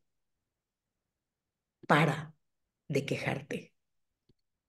Por favor, sal de la, de la rol de víctima. No somos víctimas de nada ni de nadie. Ay, Lola, sí, la sociedad no lo acepta, no quieren, son ignorantes, me lo corren de la escuela. A ver, la sociedad también eres tú. Tú también eres sociedad. Y tú también rechazas gente. Y tú también no aceptas gente. Y tú también criticas gente. Y tú también volteas a ver a gente que actúa raro por la calle. Entonces, no me vengas a decir que la sociedad, que la gente, que hay de todo. Habemos de todo. No todos tienen que actuar igual. La sociedad es multicolor y algunos tendrán un tipo de conciencia y otros tendrán otro tipo de conciencia y tú tendrás otro tipo de conciencia. ¿Ok? Respira profundo con más frecuencia y guarda silencio. A veces necesitamos solamente durante una crisis observar y respirar. ¿Por qué? Porque me, lo escriben en las redes sociales. Es que no sé qué hacer cuando está en una crisis. ¿Y qué tal que no haces nada? No es que si no hago nada se va a golpear. Pues, y si se golpea, se va a lastimar. Mm, se va a lastimar. Eh, eh, María, escribe, no voy a tomar preguntas, escríbela por el chat, por favor. Este, mm, si se golpea, bueno, si tú me estás diciendo que trae un martillo en la mano y que se va a reventar la cabeza, bueno, pues entonces sí, o que se está azotando contra la pared y que se puede descalabrar, bueno, ahí yo te puedo dar alguna serie de acciones. Pero si él se está autolesionando, espera. Ahora, si te está lesionando a ti, ahí tendríamos que hablar de muchas otras cosas más que no voy a hablar ahorita, porque hay una parte de límites que no se está poniendo en ningún otro momento del día y quieres ponérselos cuando te está agrediendo. Entonces es muy complejo que solamente quieras poner límites cuando te está agrediendo, pero cuando no te está agrediendo, ¿cómo andan los límites? Y los límites no son amenazas, los límites no son castigos, los límites no son te voy a premiar si te portas bien. Esos no son límites, esos son paliativos, pero eso es tema de otro taller. Permíteles tomar decisiones. Permíteles tomar decisiones, por favor. No les elijas todo por ellos. Pon límites respetuosos, lo acabo de decir. Evita los gritos, las etiquetas, las amenazas, los castigos, los premios. Permíteles caminar descalzos. Eso los ayuda a conectarse con todo el magnetismo de la Tierra y el magnetismo de las tierra nos da equilibrio y balance interior, sobre todo si pueden caminar sobre, sobre la hierba, sobre la tierra, sobre la arena, todavía mejor, ¿ok? Eh, voy a hacer paréntesis. Recuerden que les dije que no iba a tomar preguntas, que si tenían una pregunta me la pueden escribir en el chat y yo la leo, ¿ok? ¿Qué ayuda a recibir los niveles de ansiedad? Genera herramientas para la comunicación. Lola, no sé qué hacer. Y mi pregunta sería, si tu hijo o tu hija, en lugar de tener autismo, o tu paciente o tu estudiante, en lugar de tener autismo, fuera sordo mudo, ¿cómo harías para comunicarte con él o con ella? Ah, pues aprendería señales, este lenguaje de señas. Ah, ok. ¿Qué más harías? Bueno, pues este, le haría unos dibujitos eh, para, pues para enseñarle. Ah, ¿y qué más harías? Pues le haría dibujitos y le escribiría abajo lo que le estoy diciendo o le traería el objeto para, para enseñárselo y enseñarle para qué sirve, te los pones aquí y ay, ahora puedes ver de otro color.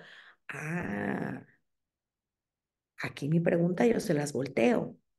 Si en lugar de autismo fuera sordo-mudo, ¿cómo aprendes a comunicarte con él o con ella? ¿Te seguirías quejando de que, de que no le entiendes?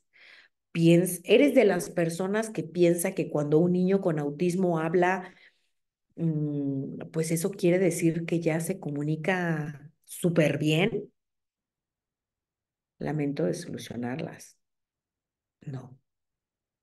Claro, queremos escucharlos hablar, eso lo comprendo. Queremos conocer su voz, eso lo comprendo. Queremos escuchar que nos digan mamá, papá, hola, adiós, eso lo comprendo, lo comprendo muy bien. Ahora, les hablo de mi caso. Eric tiene el lenguaje desarrollado que tiene, ¿no? Bastante bastante funcional, pero no para tener una conversación definitivamente, o una conversación muy limitada, eh, solamente basada en, en, en preguntas y respuestas, y ya. Pero él no inicia una conversación, eh, no te la puede seguir, solamente te sigue algunas preguntas. Entonces, pues todavía hay un montón de cosas que él no me puede comunicar. Un montón, pero me toca leerlo, he aprendido a leer a mi hijo. Y a partir de leerlo y de aprender a estar consciente y estar presente y ver qué hay en el entorno, entonces yo puedo decir, ok, estoy viendo estos elementos en el entorno, estoy viendo su reacción, probablemente esto se vincula con esto. Ok, eh, no hables mal de otras personas cuando él está presente, por favor. Eso también eleva los niveles de ansiedad. Piensen ustedes en las personas que se la pasan hablando mal de otras. Pues yo digo, uy, si esta se la pasa hablando mal de otras cuando yo estoy aquí, ya me imagino cuando yo no estoy aquí, todo lo que estarán hablando de mí. Y por cierto, no lo juzgues o hables mal de él delante de él. Si tú quieres contarle a alguien algo que te está costando trabajo con él, por ejemplo, que se ponga los zapatos, tú le puedes decir, Juanito, le voy a contar a Mariana lo que estamos haciendo para que aprendas a amarrarte los zapatos, ¿ok? Y entonces yo le voy contando a Mariana, mira Mariana, pero haciendo contacto con mi hijo. Sí, es que estamos, mira, estamos haciendo, estamos teniendo un poco de dificultad en amarrarnos los zapatos, ¿verdad, Juanito? Sí, un poquito, un poquito. Pero, ¿sabes qué, Mariana? Estamos aprendiendo. ¿Verdad que sí estamos aprendiendo, Juanito? Sí. Entonces, lo primero que hacemos es esto. ¿A ti te, tú, tú te acuerdas cómo se hace, Juanito? Entonces, es en este ir y venir. Lo mismo que, o sea, si lo vas a acusar de algo, pues piénsatelo dos veces. ¿A ti te gustaría que te acusaran de algo delante de ti? Que fueran con tu mamá, alguien y que le dijera, señora, déjeme que le diga lo que su hija ha estado diciendo de usted. Me ha dicho que usted es una X, Y, Z, A, T, T, O, M, M, M. ¿A ustedes les gustaría que hicieran eso con ustedes? Entonces no lo hagan con sus hijos. Con ninguno. Deja de alimentarte de las quejas de otras personas en redes sociales. Por favor, se lo suplico. Ay, es que yo no tengo a nadie que me ayude en la vida y por allá viene la otra. Yo tampoco y además mi suegra es una XYZ que nos abandonó y ya nos, nos quiere ayudar. Ay, a mí también. Y ahí están. Uy, la lista de quejas. Esos son las, esos son los videos que se me hacen más virales, la quejadera. Dejen de quejarse y dejen de alimentarse de las quejas de otras personas. ¿Qué, qué, qué beneficio les trae? ¿En qué les ayuda? ¿Les ayuda a ser mejores mamás, mejores personas, mejores papás? ¿Les ayuda? Digo, si les ayuda, pues síganle, ¿no? Pero si no les ayuda, pues como que para qué, ¿no? Cuando no puedas o no sepas cómo se hace algo, averigua, lee, lee, por Dios, lee. Ustedes saben cuánta gente me estuvo, escribe y escribe a mí y a mis, a las personas que me asisten. ¿A qué hora empieza? ¿Y, cuánto me llega? ¿Y cuánto va a durar? Y yo decía, pero bueno, si la información está escrita en la publicación, como por qué no leen? Entonces, busquen en Internet información antes de empezar a preguntar. Muchas veces Internet nos resuelve las cosas muy fácilmente, ¿ok?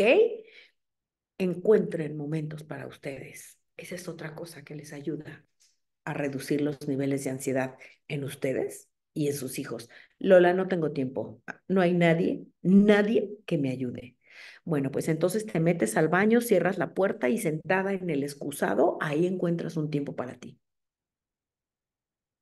O cuando te metas a bañar y vele diciendo a tu hijo, me voy a tomar tiempo para mí, este es mi tiempo. Ay, Lola, de nada sirve. Él viene y me grita y me abre la puerta y entonces tú vas a salir cada vez y le vas a decir, disculpa, este es mi tiempo, es tiempo de mamá y tiempo de papá y cierras la puerta. Y poco a poco, pasito a paso, a lo mejor tomas tres meses, pero lo vas a lograr. Va a llegar un momento en que él va a comprender qué es el tiempo de mamá, qué es el tiempo de papá, qué es el tiempo de la abuela. ¿Ok? Otra cosa que ayuda a reducir los niveles de ansiedad, observa y no emitan juicios. Somos felices observando, mira lo que hizo. Ay, seguro, es que ya sé lo que estaba pensando, es que ya sé lo que estaba. Uy, ya sé, ya sé, mira, ya. Observen. Les voy a mostrar un video que está en inglés Eric mayormente, Eric habla inglés y español, pero eh, su idioma más cómodo es el inglés. Muchos de ustedes quizá no hablan inglés, no importa. Quiero que observen sus comportamientos de lo que está pasando en este video y voy a parar la pantalla para que me escriban en el chat y me digan qué observaron, qué emociones vieron, qué sentimientos vieron, ¿ok? Aquí les va. Hey, hey girl, stay down there. Hey, hey, hey, hey, what I just say? Please? Hey, hey, hey, I'm not gonna hurt you. It's me, Eric. Eric Maurice, the dinosaur master. I come in peace.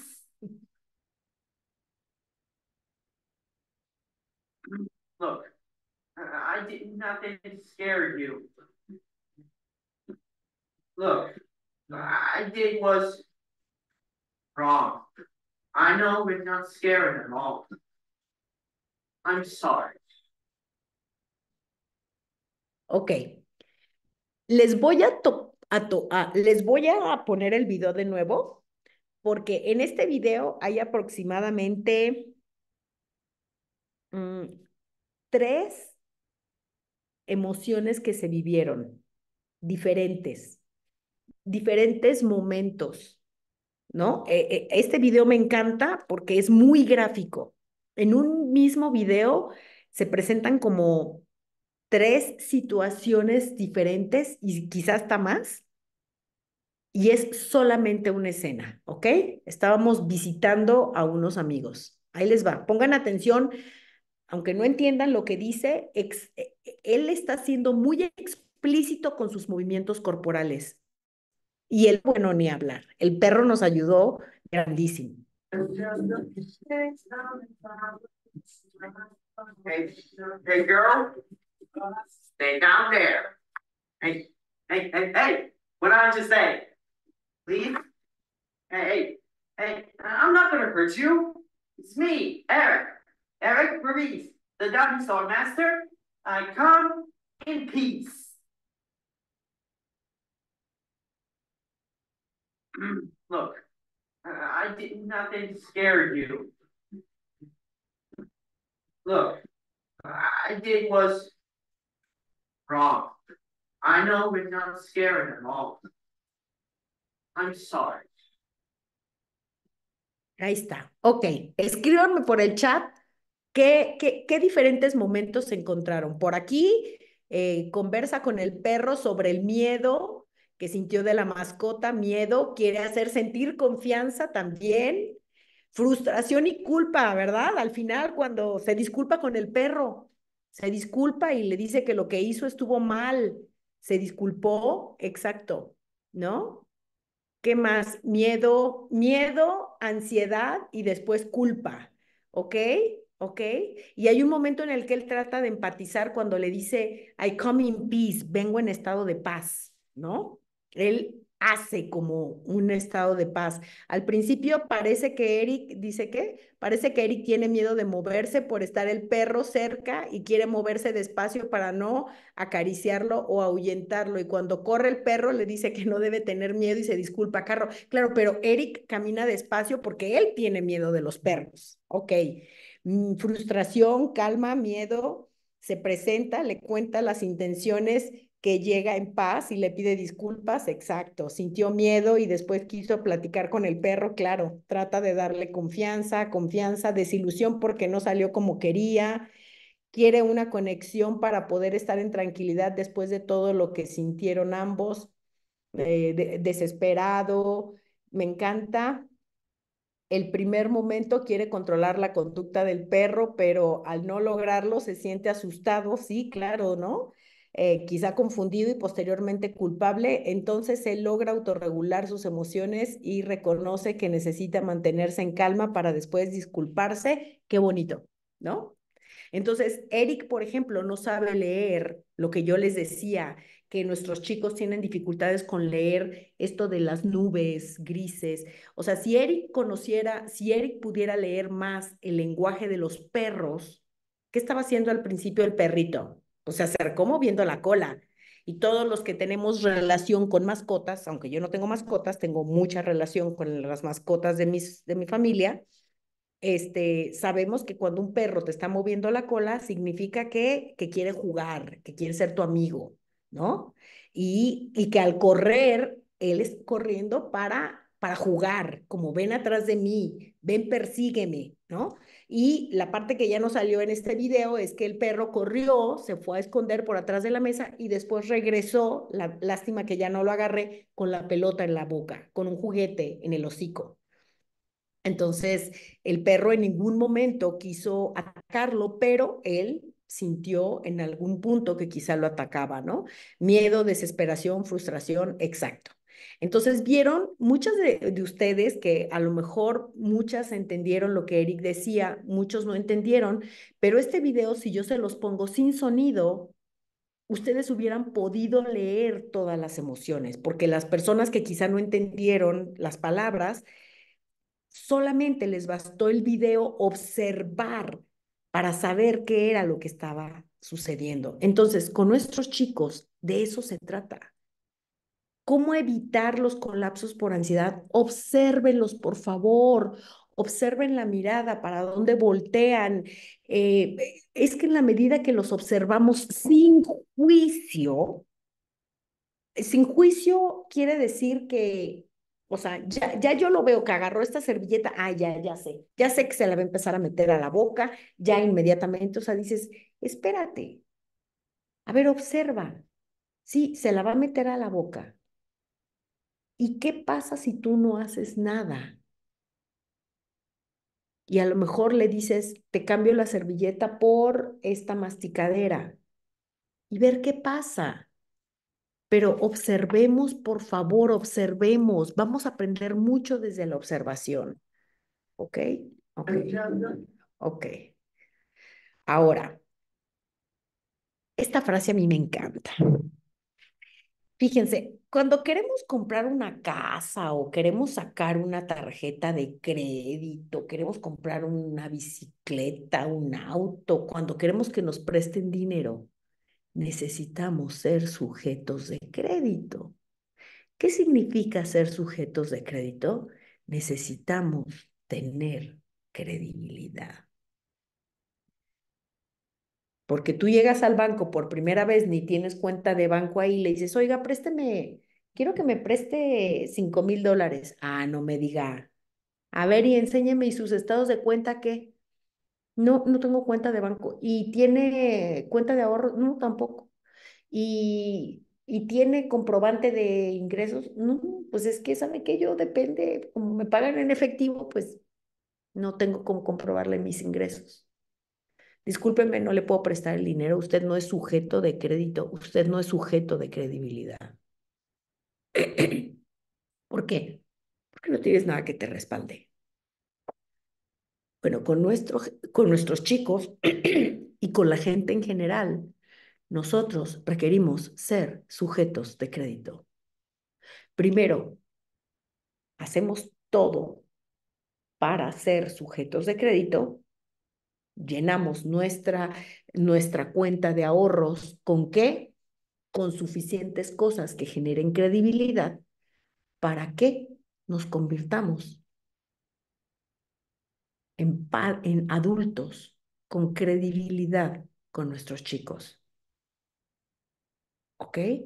Entonces, nuestros chicos y chicas con autismo y con otras condiciones, pero sobre todo en el autismo, si tú no has generado crédito con ellos, credibilidad, ellos harán todo lo posible por alejarse de ti, por no seguir tus instrucciones, por no tomarte en consideración, por no escucharte, por no ponerte atención. Primero te tienes que hacer sujeto de crédito. Así de fácil. Y si aquí hay terapeutas, y si aquí hay docentes, si ustedes no son sujetos de crédito, va a ser muy difícil que se ganen su credibilidad. Y a veces la credibilidad de una persona con autismo se pierde así. Se pierde con tres gritos. Se pierde con una acción agresiva. Se pierde con una acción violenta. Y tenemos que empezar otra vez a generarnos esa credibilidad. ¿Ok? ¿Qué más se puede hacer para reducir las crisis por ansiedad? Cuídate. Aprende a cuidarte y a quererte. Lola, no sé cómo. La mayor parte de las personas no sabemos cómo cuidarnos. Y por eso andamos buscando quien nos cuide. Porque quizá alguien lo puede hacer mejor de lo que lo hacemos nosotros. Y después, como no sabemos cuidarnos y andamos buscando por allá afuera quien nos cuide, nos encontramos cada personaje que definitivamente no es sujeto de crédito. Y no solamente no es sujeto de crédito, sino que de cuidador o cuidadora no tiene nada. ¿Por qué? Porque ni siquiera se sabe cuidar él o ella. Y, ve, y viene aquí a intentar cuidar a una que ni se sabe cuidar. Pues imagínense. Como dirían por ahí los venezolanos, imagínense el zaperoco que se forma. Imagínense, dicen los, eh, los dominicanos y los cubanos, ese arroz con mango que se forma. Eso es un arroz con mango porque tenemos a uno que no se sabe cuidar y que quiere encontrar a alguien que lo cuide, con otra que no sabe cuidar y que quiere encontrar a otro que lo cuide. No, por favor, aquello es una bomba. Y después tenemos un hijo con autismo al que tenemos que cuidar. ¡Wow! Esto es demasiado. Cuídate. Cuídate. Y aquí podría yo hacer todo un taller de qué significa cuidarse, qué significa el autocuidado. ¿Ok? Otra cosa más que podemos hacer para reducir los eh, altos niveles de ansiedad. Cuéntale tus penas a quien te las haga buenas. Esta frase se la robé a uno de mis profesores en una certificación que hice hace muchos años y él nos decía esto, ¿no? Cuéntale tus penas a quien te las haga buenas. Y le preguntábamos, profesor, ¿qué significa a quien te las haga buenas? A quien no te diga lo que quieres escuchar. No, es que tú no sabes lo difícil que es tener un hijo con autismo. Es que no, tú no sabes. Es que esto es una... Y entonces alguien viene y, sí, de veras que, pobre de ti, de verdad que es que eres súper valiente, no, hombre, tienes una fuerza. Es que Dios solamente le da este, hijos con autismo a, a las personas que son muy especiales, a los que... ¿Tú estás oyendo lo que quieres escuchar? Ahora, ¿eso te está dando algún tipo de fortaleza?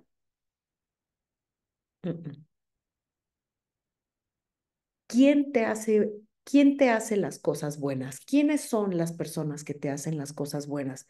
Las personas que te escuchan sin juicio, no te juzgan, te permiten hablar del tema. Las personas que a lo mejor te ofrecen alguna herramienta, te dicen, oye, mira, eh, te comparto este libro, quizás sea de tu ayuda. Eh, te comparto este audiolibro, esta conferencia, mira, te comparto esta persona, síguela, no sé, en las redes, eh, te comparto este artículo, este, o, o, o, dime qué puedo hacer por ti, o si, si, si yo te puedo ayudar en algo, por favor me lo dices. O mira, yo te voy a enseñar cómo yo lo hago y quizá a ti te funciona. Esas son las personas que te la hacen buenas. Una persona que te la hace buena es alguien que te dice, yo comprendo porque yo también lo vivo. Porque yo sé lo que es eso. Yo sé qué difícil y qué solo es este camino. Y es un camino solo, muy solos, ¿no? ¿Por qué? Pues porque solamente las personas que lo llevamos puesto en las células sabemos cómo se vive, pero eso no nos hace víctimas. Entonces, una persona que te lo hace buena no es aquella que te ve como una víctima, que te ve como un pobrecito o como una pobrecita. Ay, pobre de ti. Ay, Dios. Y tu hijo tan malito. Olvídalo. Yo no podría con eso. Ay, gracias. Mejor no me ayudes es muy difícil a veces encontrar estos espacios para algunas personas, para otros no. Por ahí en redes sociales también mucha gente me dice, es que yo no tengo a nadie. Yo, yo digo, ¿cómo le hacen para no tener a nadie? ¿Cómo le harán? O sea, de verdad no, no, me, no me lo explico. Hay más de 8 billones de habitantes en el planeta. ¿Cómo, ¿Cómo le hará a alguien para no tener a nadie que lo pueda apoyar? ¿Cómo le hará? ¿Cómo le hará? pues generalmente puede que no tengamos a nadie que nos apoye cuando nosotros estamos pensando y decidiendo y diciendo constantemente que no tenemos a nadie que nos apoye y al cliente lo que pida. Y luego ahora con la comunicación virtual, ¿cómo no vas a tener a nadie? ¿No? Vamos a encontrarte. Dice, madre, ya me duele el cuerpo de todos los verdadazos que me estás dando. Muchas gracias. Discúlpenme si les está doliendo el cuerpo. Se me olvidó decirles algo al principio de la charla y lo digo siempre en mis talleres, en mis conferencias, en mis clases. Las personas que están aquí, que entraron aquí, las 56 personas que están dentro de esta sala, no van a ser las mismas que van a terminar esta reunión. Y les cuento una, les cuento un chisme se registraron más de 600 personas a esta clase. ¿Ok? La mayor parte van a ser en la noche, pero ahorita en la mañana habían por lo menos 200 personas. ¿Cuántas llegaron? 56. Estas 56 que entraron no van a ser las mismas personas cuando se vayan de aquí, eso se los prometo. Y cuando vayan y me escuchen en mis redes sociales, van a, van a tomar desde otro punto de vista la información que les voy a compartir y la que les van a compartir otras personas. Y les aseguro, y, y si esto que voy a decir no es verdad, acepto reclamaciones posteriores. Les aseguro que van a empezar a hacer cosas diferentes una vez que terminen esta clase. Se los aseguro. Estoy súper convencida que por lo menos una cosa van a ser diferente. Y con una es suficiente para empezar. Una. ¿Ok? Por aquí me escriben otra noticia. Valiosa información, todo lo que estás comunicando. Me alegro, Adriana. Me alegro. Ya casi terminamos. Eh, ahorita que terminemos, voy a, terminar la presentación y ahí quizás sí regrese a la pantalla y tome un par de, de preguntitas o de comentarios, ¿ok? Bueno, esto es una probadita de cómo reducir los niveles de ansiedad. Yo ahora lo que les quiero comentar es este espacio que yo tengo virtualmente.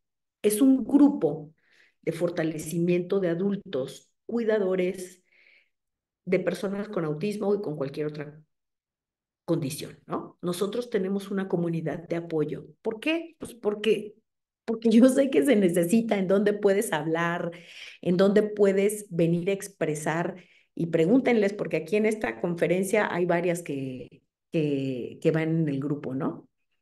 De repente vienen a contar las cosas más, más oscuras que no se atreverían a contar a otras personas. ¿Por qué? Porque contarlas les hace sentir que son malas madres que lo están haciendo mal o malos padres o malos docentes, porque también hay docentes en este grupo. Pero en este grupo todos tenemos cosas oscuras que contar. Que no son oscuras, pero que nosotros pensamos que son oscuras. Y tenemos un lugar seguro en donde podemos hablar de autismo todo lo que se nos dé la gana y nadie va a decir, ay, ya cállate, otra vez ya estás hablando de eso, que no sabes hablar de otra cosa. Y no solamente eso, vamos a poder preguntar todo lo que se nos dé la gana, todo lo que le preguntan a Lola en las redes sociales lo van a poder preguntar. Pero no siempre se los voy a contestar yo, algunas veces se los van a contestar otras mamás, otros papás, otras maestras, otros especialistas que invito al grupo, eso es lo bonito. Y algunas veces ustedes van a ser las que les van a contestar a los demás. Entonces, en ese grupo vas a ser escuchado, no vas a ser juzgado, vas a conocer a otros cuidadores y cuidadoras, vas a aprender aún más sobre autismo, sobre salud, sobre autoconocimiento. Trabajamos mucho el autoconocimiento en este grupo. ¿Por qué? Porque yo requiero, como aquí, que se hagan conscientes. Acuérdense, el primer pilar para la autorregulación es el cognitivo, el pensamiento, que se hagan conscientes de lo que están haciendo. Que si ustedes no están conscientes, no van a poder irse al segundo pilar, que es el emocional, y mucho menos al tercer pilar, que es el conductual. ¿Ok? Escucharás a invitados especialistas que responderán a tus preguntas, respondremos a todas tus preguntas y serás parte de una comunidad de WhatsApp. Este grupo se reúne dos martes al mes, ¿ok? En los mismos horarios que esta charla. El de en la mañana es eh, de nueve y media a once y media. Y el de la, el de la noche es, uh, es de siete. Ah, bueno, estoy hablando ahora de la Ciudad de México, ¿eh? Ahí hagan sus cálculos ustedes es de 7 de la noche a 9 de la noche. Nos reunimos dos veces al mes. Eh, tenemos un grupo de WhatsApp y ahí constantemente pues están, uh, compartimos este, materiales muy valiosos, eh, mamás hacen preguntas, eh, estoy pasando por esto, otras contestan, compartimos alegrías, de repente suben una foto de que fue el cumpleaños de uno y bueno, en fin, nos, comen, nos convertimos en una comunidad, ¿no? ¿Tiene costo, Lola? Sí, sí, tiene costo, porque pues imagínense, eh, es como, es como si yo les digo a las personas que trabajan, oye, si tú llegas a tu trabajo y tu jefe te dice, ay, fíjate que ya no te puedo pagar porque, pues es que ya no tengo dinero, pero, ay, me gusta tanto tu trabajo, tú podrías venir y trabajar sin cobrar. Y pues mi pregunta para ustedes es si ustedes irían a seguir trabajando. Y pues yo amo lo que hago, me apasiona, ya se están dando cuenta, me apasiona lo que hago, considero que lo hago bien. Eh, entonces, pues, pues sí, sí hay un costo y de eso vamos a hablar ahorita. ¿Ok? Grupo de fortalecimiento de adultos y el lema de este grupo es, si me cuido, te cuido mejor. O sea, si yo puedo cuidarme a mí, ay, gracias Dios, pues ya soy sujeta de crédito, puedo cuidar a mi hijo, ya tengo credibilidad, ya no tengo que andar buscando por allá quién sabe quién que me cuide, que además me cuida con, con sus herramientas que están igual que las mías o peores, ¿no? Entonces me convierto en una mejor cuidadora. Y este grupo tiene membresías. Ahorita que termine la presentación les voy a presentar el plan de las membresías, ¿ok? Ahora, en un momento les presento las membresías y cuando les mandemos la liga de eh, este video, les voy a mandar la liga de registro para quienes estén interesados y puedan hacerlo. Y si alguien de ustedes dice, Lola, ya sé, tengo una idea, yo conozco una empresa que puede dar 10 becas, sale, conéctame con la empresa. Yo voy, hablo con él y que nos dé 10 becas para 10 mamás. Va. Yo feliz de la vida, ¿eh? Feliz de la vida. Por mí, o sea, yo becaría a todas las mamás del mundo mundial pero el tema es que yo todavía no tengo quien me beque a mí. ¿Ok? Pero si ustedes conocen a empresas, organizaciones que ustedes pueden decir, oye, Lola, ven, ven, mira, mira, yo te los presento y preséntales el programa y que nos bequen, sale, yo voy. Becas 100% a quien se registre en las próximas 24 horas. ¿Cuál es la beca? Voy a dar un taller que se llama Estrategias para crecer la paciencia de los cuidadores. Es maravilloso. Ahí sí, cuando me dicen, es que cómo le hago para no perder la paciencia. Ah, pues vente al taller, te voy a dar algunas estrategias. Va a ser el sábado 23 de noviembre, la duración es de tres horas. El costo de ese taller es de 44 dólares y que son 836 pesos mexicanos, pero a las personas que se registren en las siguientes 24 horas, o sea, de aquí a hoy es martes, digamos que les voy a dar hasta el jueves en la mañana. No, hasta el jueves por la noche, porque mañana les van a enviar esto por correo electrónico, eh, pues van a tener una beca al 100% para este, para este taller, además de que también um, depende qué membresía elijan, van a tener un descuento en sesiones individuales con su servidora. Que miren que yo ya nada más le doy sesiones individuales a, a los VIP, a la gente muy importante, o sea, la las personas que se suman a estos grupos, porque no, no me da la vida de hacer sesiones para, para muchas más personas. Eh, les, les voy a enseñar esto, después les voy a enseñar las membresías y cómo funciona, pero les quiero dejar todas mis redes sociales. En mi canal de YouTube tengo más de 300 entrevistas con especialistas de autismo, está acomodado por carpetas, muy organizadito, de manera que si ustedes dicen, mi hijo no habla, se van a la carpeta que dice comunicación. Mi hijo tiene trastornos sensoriales, se van a la carpeta de trastornos sensoriales. Mi hijo es adolescente, se van a la carpeta de adolescentes y sexualidad. Mi hijo no habla, este, mi hijo, este, no, la escuela incluyente, que no incluye a nadie, se van a la, a la carpeta de inclusión social. Está todo muy organizado. Es toda una videoteca, digo yo. Eh, no hay pretexto para decir es que no sé nada de autismo y las personas que son parte del grupo yo con, frecuencia les voy compartiendo y hace eh, este mes comencé a generar eh, empecé a, a, grabar nuevas entrevistas Así que prepárense, siempre se las estoy compartiendo a ustedes. Acabo de grabar una entrevista sobre trastornos sensoriales con Pedro Sánchez y voy a seguir grabando entrevistas. Así que mm, ahorita les... Ah, ahorita les enseño cómo funciona lo de las membresías. Ah, algo importante. En el grupo tenemos mamás con niños de tres años hasta adultos de casi 50 años. O sea, tenemos todo un abanico y es maravilloso porque las que tienen, tenemos hijos más grandes, podemos aportar mucho a las más chicas, pero curiosamente las más chicas nos aportan mucho a las grandes. ¿Por qué? Porque decimos, uh, esto que está haciendo esta niña, si yo lo hubiera hecho, wow, hubiera sido diferente. Entonces ahí todos aprendemos de todo, es una comunidad de aprendizaje maravillosa maravillosa y ahí todos enseñamos y todos aprendemos.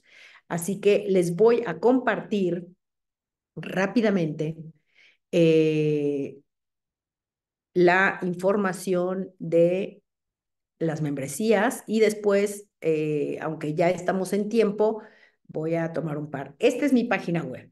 Entonces, cuando ustedes entran, se van a ¿Cómo te ayudo? Se van a Grupo de Fortalecimiento. Ahí estoy yo con la cara así. ¿Ok? Y las membresías, algunas de las personas que, que están en el grupo, Tere, Nora, eh, Artemisa, creo que tenemos a estas tres, Ivette, Ivette creo que anda por aquí, se me hace que la vi, como que vi su nombre así de, de, de rapidito, pero bueno, ustedes pueden revisar. Tenemos tres tipos de membresía, el de seis sesiones, el de 12 sesiones, el de 24 sesiones. Entonces ustedes dicen, este, aquí están los descuentos que tienen en sesiones individuales conmigo, depende de cada una. Bueno, pues voy a pagar aquí. Lola, ¿qué tipos de pago aceptas? Eh, tarjetas de crédito o débito. Por ahora es lo que es, es lo que es, ¿ok? Fechas de los encuentros virtuales, aquí están ya escritas las fechas. Si tú firmaste para el de seis sesiones, aquí te van a aparecer las fechas de tus seis sesiones, dos horarios a elegir, está el matutino y el vespertino, siempre hora de la Ciudad de México. ¿ok? Entonces dice, revisa tu zona horaria, se van aquí, hacen clic y dices, oye, es que, eh, pero es que yo vivo en, ay Dios, your time, a ver, espérenme, déjenme ver si esto funcionando, pero yo se los voy a revisar porque en esto normalmente ustedes van a escribir aquí, por ejemplo, Guatemala y les va a decir qué hora es en Ciudad de México y qué hora es en Guatemala pero este, pero no sé por qué no está funcionando, pero les prometo que si se registran va a funcionar. ¿Ok? ok. Aquí ustedes escriben Ivonne Hernández y aquí ponemos contacto arroba lolahernández.org. Eligen su país, este, no sé, vamos a poner México. Bueno, ahí este, no, 25, ahí no, no, no ve, no es mi teléfono, ¿verdad? Entonces elige la opción, no, pues en el matutino, entonces nos vamos ahí y nos lleva a una siguiente pantalla. El costo de este de las seis sesiones es equivalente a 76 dólares. Ustedes tendrán que hacer el cambio de acuerdo a su moneda. Escriben aquí toda su información, dan continuar, o sea, contacto. Y se los estoy haciendo, discúlpenme, porque luego me andan preguntando. Entonces, bueno, para que no me estén preguntando, este, Hernández, pues se los hago aquí en vivo y a todo color. Este, ay Dios, ya no me acuerdo cuál era mi teléfono. Bueno, vamos a poner, pues como lo inventé, y ahí están los detalles del pago. Ahí ponen el número de tarjeta, no sé qué, nombre completo, pagar ahora, San se acabó, les llega su comprobante por correo electrónico, les llega su bienvenidos al grupo, bla, bla, bla, y todos felices y contentos, ¿ok? Eh, Lola está muy caro, es que quién sabe qué, y yo digo, chispas, de verdad que son unas cuotas súper, súper, súper accesibles, este, porque,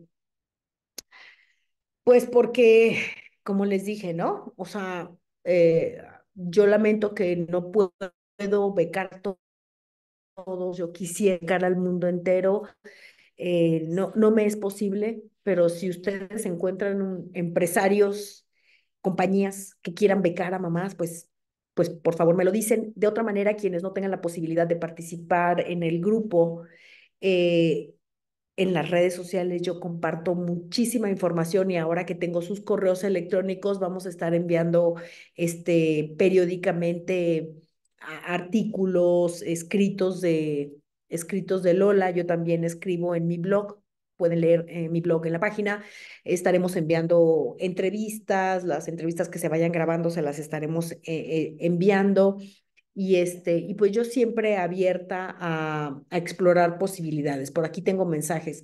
Muchas gracias, Lola. Me debo retirar. Muy bien, súper interesante la plática. Muchas gracias, con mucho cariño. Ok, ¿dónde está eso? Me metí a tu página, pero ¿qué opción eh, es la del principio? Le, le ponen en donde dice, eh, a ver, se los, se, los, se los coloco de nuevo. A ver, vamos a regresar. Ustedes van a entrar a mi página. ¿Cómo te ayudo? grupo de fortalecimiento. Y ahí van, se bajan, eligen el plan, hacen clic y llenan la información, ¿ok? Eh, de, cualquier manera, les va a llegar este video eh, junto con eh, la liga para registro para quienes quieran unirse y quienes no, no se quedan fuera. Yo voy a estar haciendo masterclasses como estas con diferentes temas eh, sin costo eventualmente. No, no les prometo que sea con mucha frecuencia, pero haré todo lo posible por hacer, no sé, cada dos meses y lo estaré publicando por correo electrónico, sobre todo si ustedes están al pendiente, ahí se van a enterar.